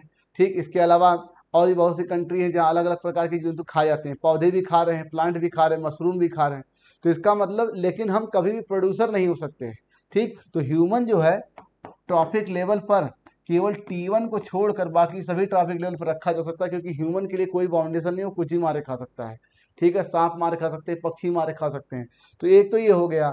और आपकी बुक में ये कहा गया है कि भाई साहब, जब स्पैरो ने कोई सीड खाया ठीक? तब तो सीट तो हो गया। टी वन ट्रॉफिक लेवल तो ये टी टू पे आ गई। और जब कोई ये इंसेक्ट खाएगी तो इंसेक्ट ऑलरेडी टी टू पर है। तो ये टी थ्री ट्रॉफिक लेवल पे। तो इन बातों से ये मालूम चलता है कि अगर आप मछली को देखिए तो एक से अधिक ट्रॉफिक लेवल पे एक ही इकोसिस्टम में चूँकि मैं पॉन्ड इकोसिस्टम को as a observation under consider कर रहा हूँ तो ये पॉन्ड इकोसिस्टम का फ़ूड चेन चल रहा है भाई। हाँ माइंड इट एक फ़ूड चेन की बात करेंगे तो ये दोनों ए, एक से अधिक ट्रॉफिक लेवल पे हो गए। ह्यूमन अगर एक ट्रॉफिक लेवल पे लें तो हमने हमने पौधे भी खाए हमने चिकन भी खा लिया हमने गाय भी खा मारे खा लिया भैंस भी खा लिया ठीक? और मान लीजिए हमने सांप भी है और पक्षी भी, कुछ भी खा सकते हैं मार के। तो ट्रॉफिक लेवल टी वन छोड़कर मनुष्य किसी भी ट्रॉफिक लेवल पर रखा जा सकता है। और स्पैरो आपकी बुक नहीं बताया कि सीड भी खा सकती है इंसेक्ट भी खा सकती है, और मछली भी। इसका ये सभी एक से अधिक ट्रॉफिक लेवल पर ऑक्यूपाई की सकते हैं, ये तीनों सही है। ऑल ऑफ़ द अब देखिए, कहा गया था कि समय समय पर जैसे सपोज़ दैट ये रहा हमारा डीएनए और कहते हैं इवोल्यूशन के लिए सबसे ज़्यादा महत्वपूर्ण हमारे जी जीन में चेंज जीन चेंज होगा तभी नया करेक्टर आएगा। तो इस बात पर दो तीन साइंटिस्टों ने अपने अपने अलग अलग मत रखे। डार्विन ये कहते थे कि जो चेंज होता है सेक्सुअल रिप्रोडक्शन से, वो ग्रेजुअल होता है, डायरेक्शनल होता है और थोड़ा थोड़ा चेंज होता है। लेकिन जो आपके ह्यूगो डेविस थे, उन्होंने कहा कि नहीं कभी कभी नेचर में सडन चेंज हो जाता है, एकाएक। बहुत बड़ा लार्ज डिफरेंस एकाएक पॉपुलेशन में दिखाई पड़ता है। लेकिन उस, और लेकिन उसका इवोल्यूशन तभी होगा जब नेचर उसे फेवर करे नेचर को वो कैरेक्टर वो ऑर्गेनियम उसे एडाप्ट करे। तो लेकिन ये डायरेक्शन लेस होता, किस डायरेक्शन में उसका सिलेक्शन होगा पता नहीं। तो म्यूटेशन रैंडम है, कभी भी हो सकता है डायरेक्शन लेस है, और टर्न स्मॉल है दोनों सही है भाई। दैट इज़ फोर्थ आंसर आइए देखते हैं क्वेश्चन नंबर एक सौ छियासी which one of the following is not not a type of लिवाइजम आपको मालूम है कि ह्यूमन हेल्थ के चैप्टर में आपने पढ़ा था कि बहुत से ऐसे लिम्फाइड टिश्यू होते हैं जो म्यूकोसा से होते हैं और इसका फुल फॉर्म है म्यूकोसा एसोसिएटेड लिम्फाइड टिश्यू ये गैस्ट्रोस्टाइट स्पाइट्राइट में पाया जाता है। तो भाई एक प्रकार का ये लिम्फॉइड टिश्यू है। ये लिविंग ऑर्गन नहीं है। आप देखिए PPLO pleuropneumonia like organism एक प्रकार का ये प्रोकैरियाट से ये एक प्रकार का जीव है तो भाई ये तो जीव है। और जीएमओ आपको पता है, सपोज़ कोई एक जीव है, उसके मेन डीएनए में आपने कुछ अपने डिजायर्ड कैरेक्टर को पाने के लिए उसके जीन मैनिपुलेशन किया तो इसे बोलते हैं जीएमओ। ये बैक्टीरिया हो सकता है, ये फंजाई हो सकता है, ये प्लांटिन मेलिया हो सकता है, ये आपकी बायोटेक टू के चैप्टर मतलब ये एक प्रकार के जीव हैं। ठीक? और ए आपको पता है असिस्टेड रिप्रोडक्टिव टेक्नोलॉजी जैसे सपोज़ एड मेल और फीमेल ह्यूमन हैं सेक्सुअल इंटरकोर्स और नॉर्मल रिप्रोडक्शन करने के बाद आपस में जब उन इनफर्टाइल रह जाते हैं, मान लीजिए सेक्सुअल इंटरकोर्स हो या कुछ प्रॉब्लम आ जाए मेल में या फीमेल में तो इस टेक्नोलॉजी का सहारा लिया जाता है फर्टिलिटी को बढ़ाने के लिए या बच्चा पैदा करने के लिए, ठीक? तो इसका मतलब ये एक प्रकार की टेक्नोलॉजी है, ये भी जीव नहीं है। तो क्वेश्चन पूछा गया which is not a type of living तो ए और डी ये लिविंग नहीं है भाई। Answer third. तो क्वेश्चन नंबर एक का आंसर थर्ड। आप देखिए, in C four plant the first C O two fixation product form days कहते हैं कि सी फोर और सी थ्री जो आप ये देख रहे हो, ये इस बात पर है कि जब सी ओ टू का फिक्शन हुआ तो कितने नंबर वाले कंपाउंड वाले कार्बन आइटम की संख्या बने? मतलब जो कंपाउंड बना फ़र्स्ट स्टेबल प्रोडक्ट उसमें कितना कार्बन आइटम है? आपको ये मालूम था कि जब R U B P C O two से जुड़ता है तो दो मालिकुल पी जी ए बनते हैं तो ये तीन कार्बन होता है भाई। और आपको ये पता है कि जब P E P C O two से जुड़ता है तो ओ ए ए बनता है, ये चार कार्बन कंपाउंड है। इसका मतलब और ये बनता कहाँ भाई? ये तो मीजोफिल में ये रिएक्शन होती है। कहाँ होती है? मीजोफिल में। तो कहते हैं oxaloacetic acid in mesophyll cells और इसके हर फिक्सेशन पर टू एटीपी का एक्सपेंडिचर होता है। और जबकि अगर आप कैलविन साइकिल की बात करें तो हर सी फिक्सन पे तीन एटीपी का फिक्सेशन होता है। That is second option oxaloacetic acid in mesophyll cell second अब देखिए, आपको पता था कि जब नाइन मंथ पूरे होते हैं तो एक प्रकार का फीटल इजेक्शन रिफ्लेक्स आता है। और ये ये रिफ्लेक्स आता कहाँ से? ये प्लेसेंटा से भी आता है। और फीटस से भी आता है फुल्ली डेवलप्ड फुल्ली फीटस तो ये पार्टूशन का, एक प्रकार का न्यूरो एंडोक्राइन मैकेनिज्म क्यों? क्योंकि इसमें एंडोक्राइन उसमें हार्मोन इन्वॉल्व होता है ऑक्सीटोसिन और न्यूरो तो है क्योंकि रिफ्लेक्स आता है एक प्रकार का. ठीक? आपको मालूम है कि जब ऊ जेनेसिस होती है बच्चों तो ऊ जेनेसिस स्टार्ट होती है आपकी प्राइमरी ऊ साइड से, और प्राइमरी ऊ साइड में जब फ़र्स्ट मियोसिस होगा तो आपका बनेगा फ़र्स्ट पोलर बॉडी अब फ़र्स्ट पोलर बॉडी जब बन जाएगा तो उसके साथ ही साथ एक सेकेंडरी ओ साइड बनेगा। और सेकेंडरी ओ साइड में जब मियोसिस होगा सेकेंड तो बनेगा सेकेंड पोलर बॉडी और प्लस ओवम तो इसका मतलब ओ पोलर बॉडी कहाँ बना है? ऊ जेनेसिस में। अब देखिए, जब फर्टिलाइजेशन होता है नॉर्मल मेल फीमेल गैमिट का तो पहला स्ट्रक्चर तो आपका जायगोट ही बन गया।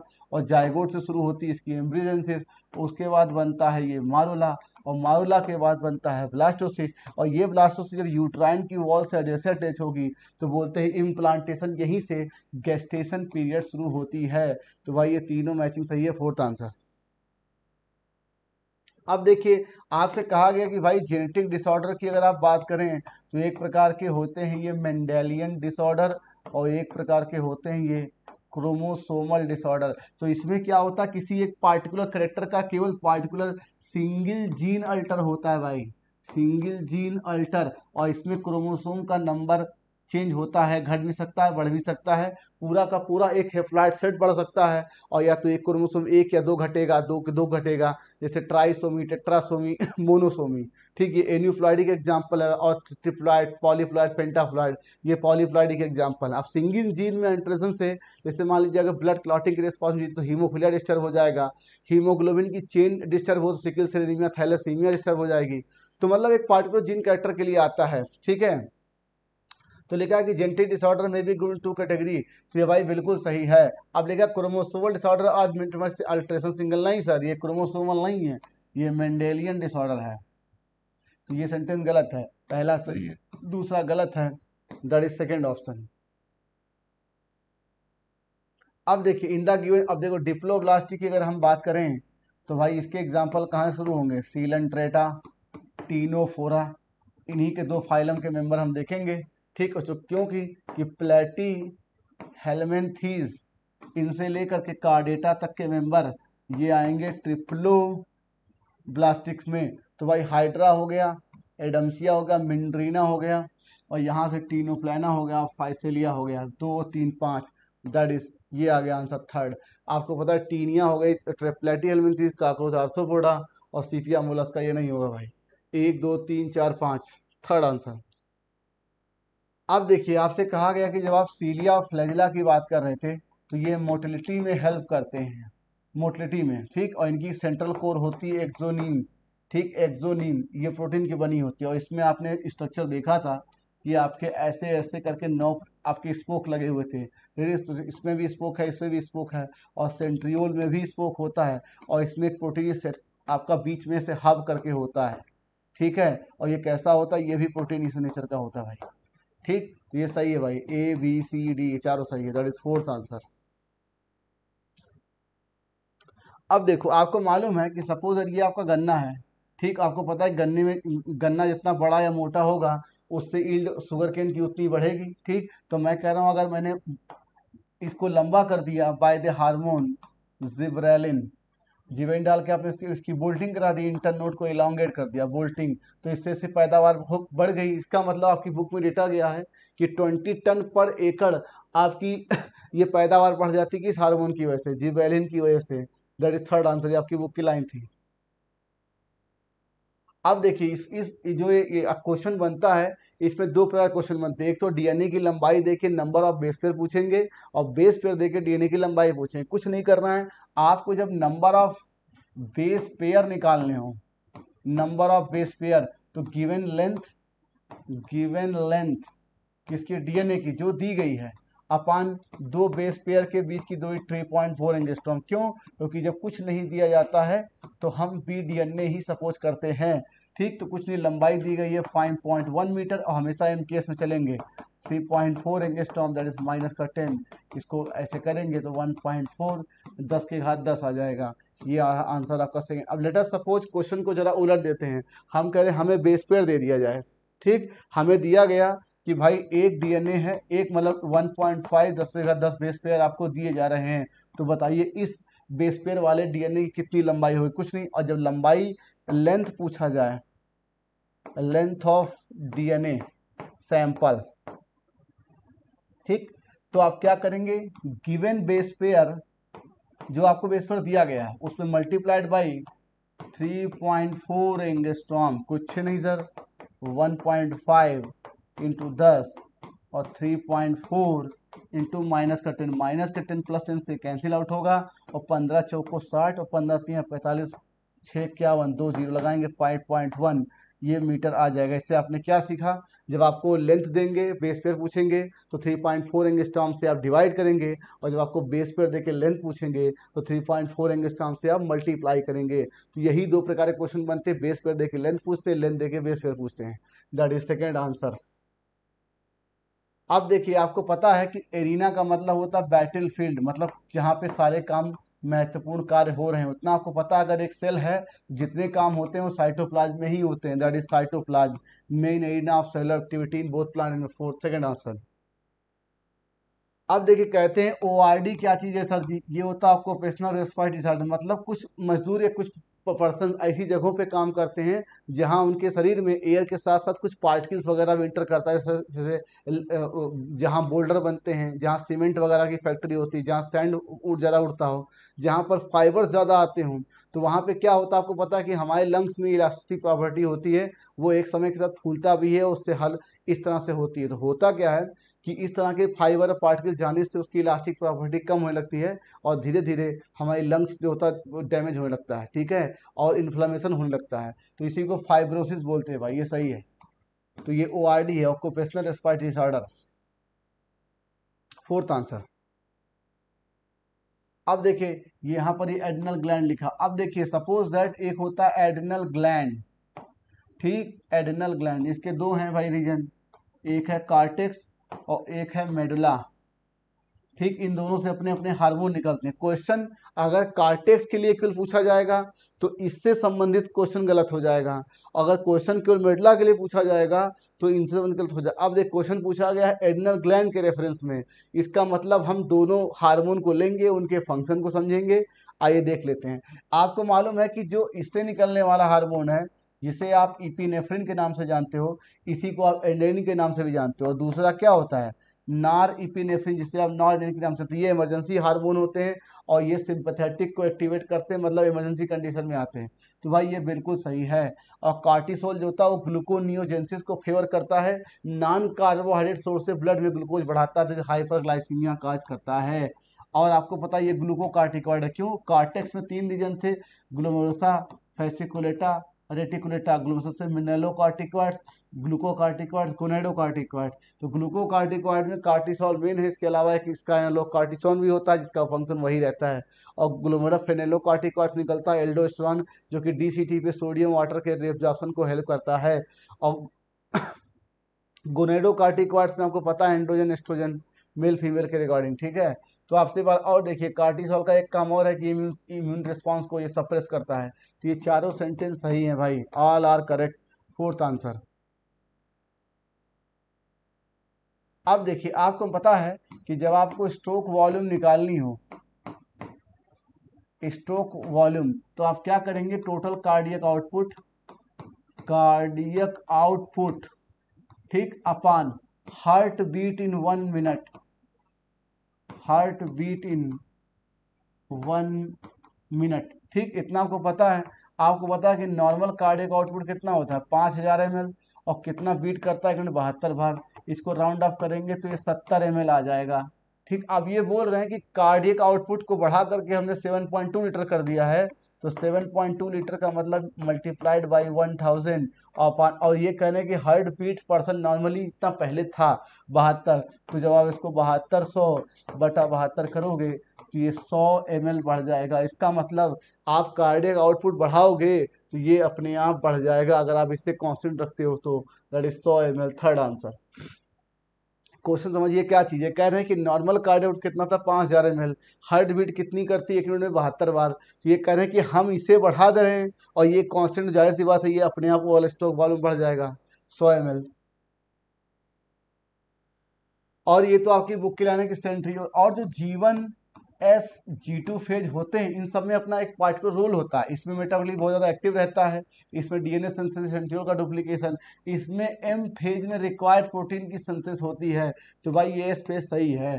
सेंट्रियोल का डुप्लीकेशन सेकेंड आंसर और देखिए सर्टेन पार्ट अब कुछ नहीं, आपको मालूम है कि जब आप स्कल की बात करते हो स्कल तो स्कल में एक होता है क्रेनियल बोन ठीक? और एक होता है फेसियल बोन इसमें होते हैं आठ।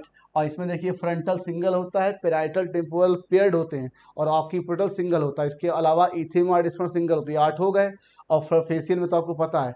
तो आप कहोगे, सर, कि parietal bone of the skull unpaired नहीं, सर, ये तो पेयर्ड में आएगा। हालाँकि जो पेराइटल बोन है, वो केनियल है, लेकिन केनियल अल्टीमेटली किसका टाइप है? स्कल का। इसीलिए बच्चों, यहाँ पे स्कल लिखा हुआ तो ये गलत है भाई। और फ़र्स्ट वर्टिब्रा तो आप जमाने से पढ़ते आए हैं कि भाई ये तो एटलस होता है, ये गलत। और आपको पता है कि जब रिफ्स की कहानी आप जानते हैं, रिफ्स के बारे में तो भाई ये होते हैं बारह पेयर इसमें कोई शक नहीं, ये होते सेवन थ्री टू ये होते ट्रू ये फॉल्स ये फ्लोटिंग ये होता है वन टू सेवन ये एट नाइन टेन ये इलेवन ट्वेल्व ठीक? तो कहते हैं कि nine ten pair true ribs नहीं भाई, नौ, दस तो फॉल्स में जाएगा, ये गलत है। दैट इज़ फॉल्स ये तीनों गलत है। आपसे करेक्ट पूछा गया। All of the fourth answer अब देखिए, आपको बताया गया था बायोडावर्सिटी में कि पिछले पाँच सालों में और सत्ताईस सालों में बहुत सारी स्पीसीज एनिमल की प्लांट की विलुप्त हुई, जिनमें से एनिमल के बारे में कुछ जानकारियाँ दी गई हैं कि ये डोडो मॉरिसस से विलुप्त हुई थी और थाइलासिन ऑस्ट्रेलिया से विलुप्त हुआ और क्वागा अफ्रीका से विलुप्त हुआ और सीरासिका और रसिया से विलुप्त हुई। तो दही A second, B fourth, A second, B fourth, C third, D first. That is first answer ये सब के सब एनिमल हैं और ये सब के सब वो प्लेस या कंट्री हैं जहाँ से चीज़ें विलुप्त हुई हैं ये ये जीव। ठीक है? तो ये बायोडावर्सिटी में आपको बताया गया है। इसके अलावा तीन सब स्पेसी टाइगर के थे, बली, जवान कैस्पियन वो भी विलुप्त हुए हैं। ठीक? तो भाई देख लीजिए डोडो मॉरिसस का ए सेकेंड थाइलासिन तो ए सेकेंड होगा डोडो मॉरिसस उसके बाद थाइलासिन ऑस्ट्रेलिया बी फोर्थ और शिलसिका और रसिया हाँ Steller sea cow that is C first हाँ सी फ़र्स्ट और उसके बाद quagga Africa that is D third ये रहा आंसर थर्ड आपका। ठीक? अब देखिए, हो सकता देखिए, आज हम ही से गलत हुआ है। इसलिए बी केयरफुल इस तरह के क्वेश्चन को जो मैचिंग के आते हैं, हो सकता है बहुत ही क्लोज आंसर दिए हैं। फिर से देख लेते हैं आप लोग। आपके सामने है dodo Mauritius that is A second उसके बाद thylacine Australia B fourth Steller sea cow Russia that is C third ठीक? सी फ़र्स्ट, और उसके बाद quagga Africa that D third, ये हो गया सेकेंड आंसर थर्ड आंसर तो दो सौ का थर्ड आंसर बच्चों।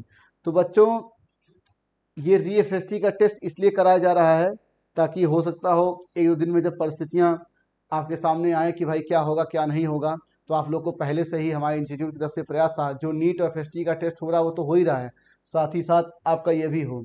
तो कुल मिलाकर के क्या किया? सभी के लिए असमंजस की स्थिति है, क्या करें, क्या ना करें। जो लोग पढ़ रहे हैं, उनके लिए भी ठीक है, जो नहीं पढ़ रहे हैं तो क्या कहा जाए?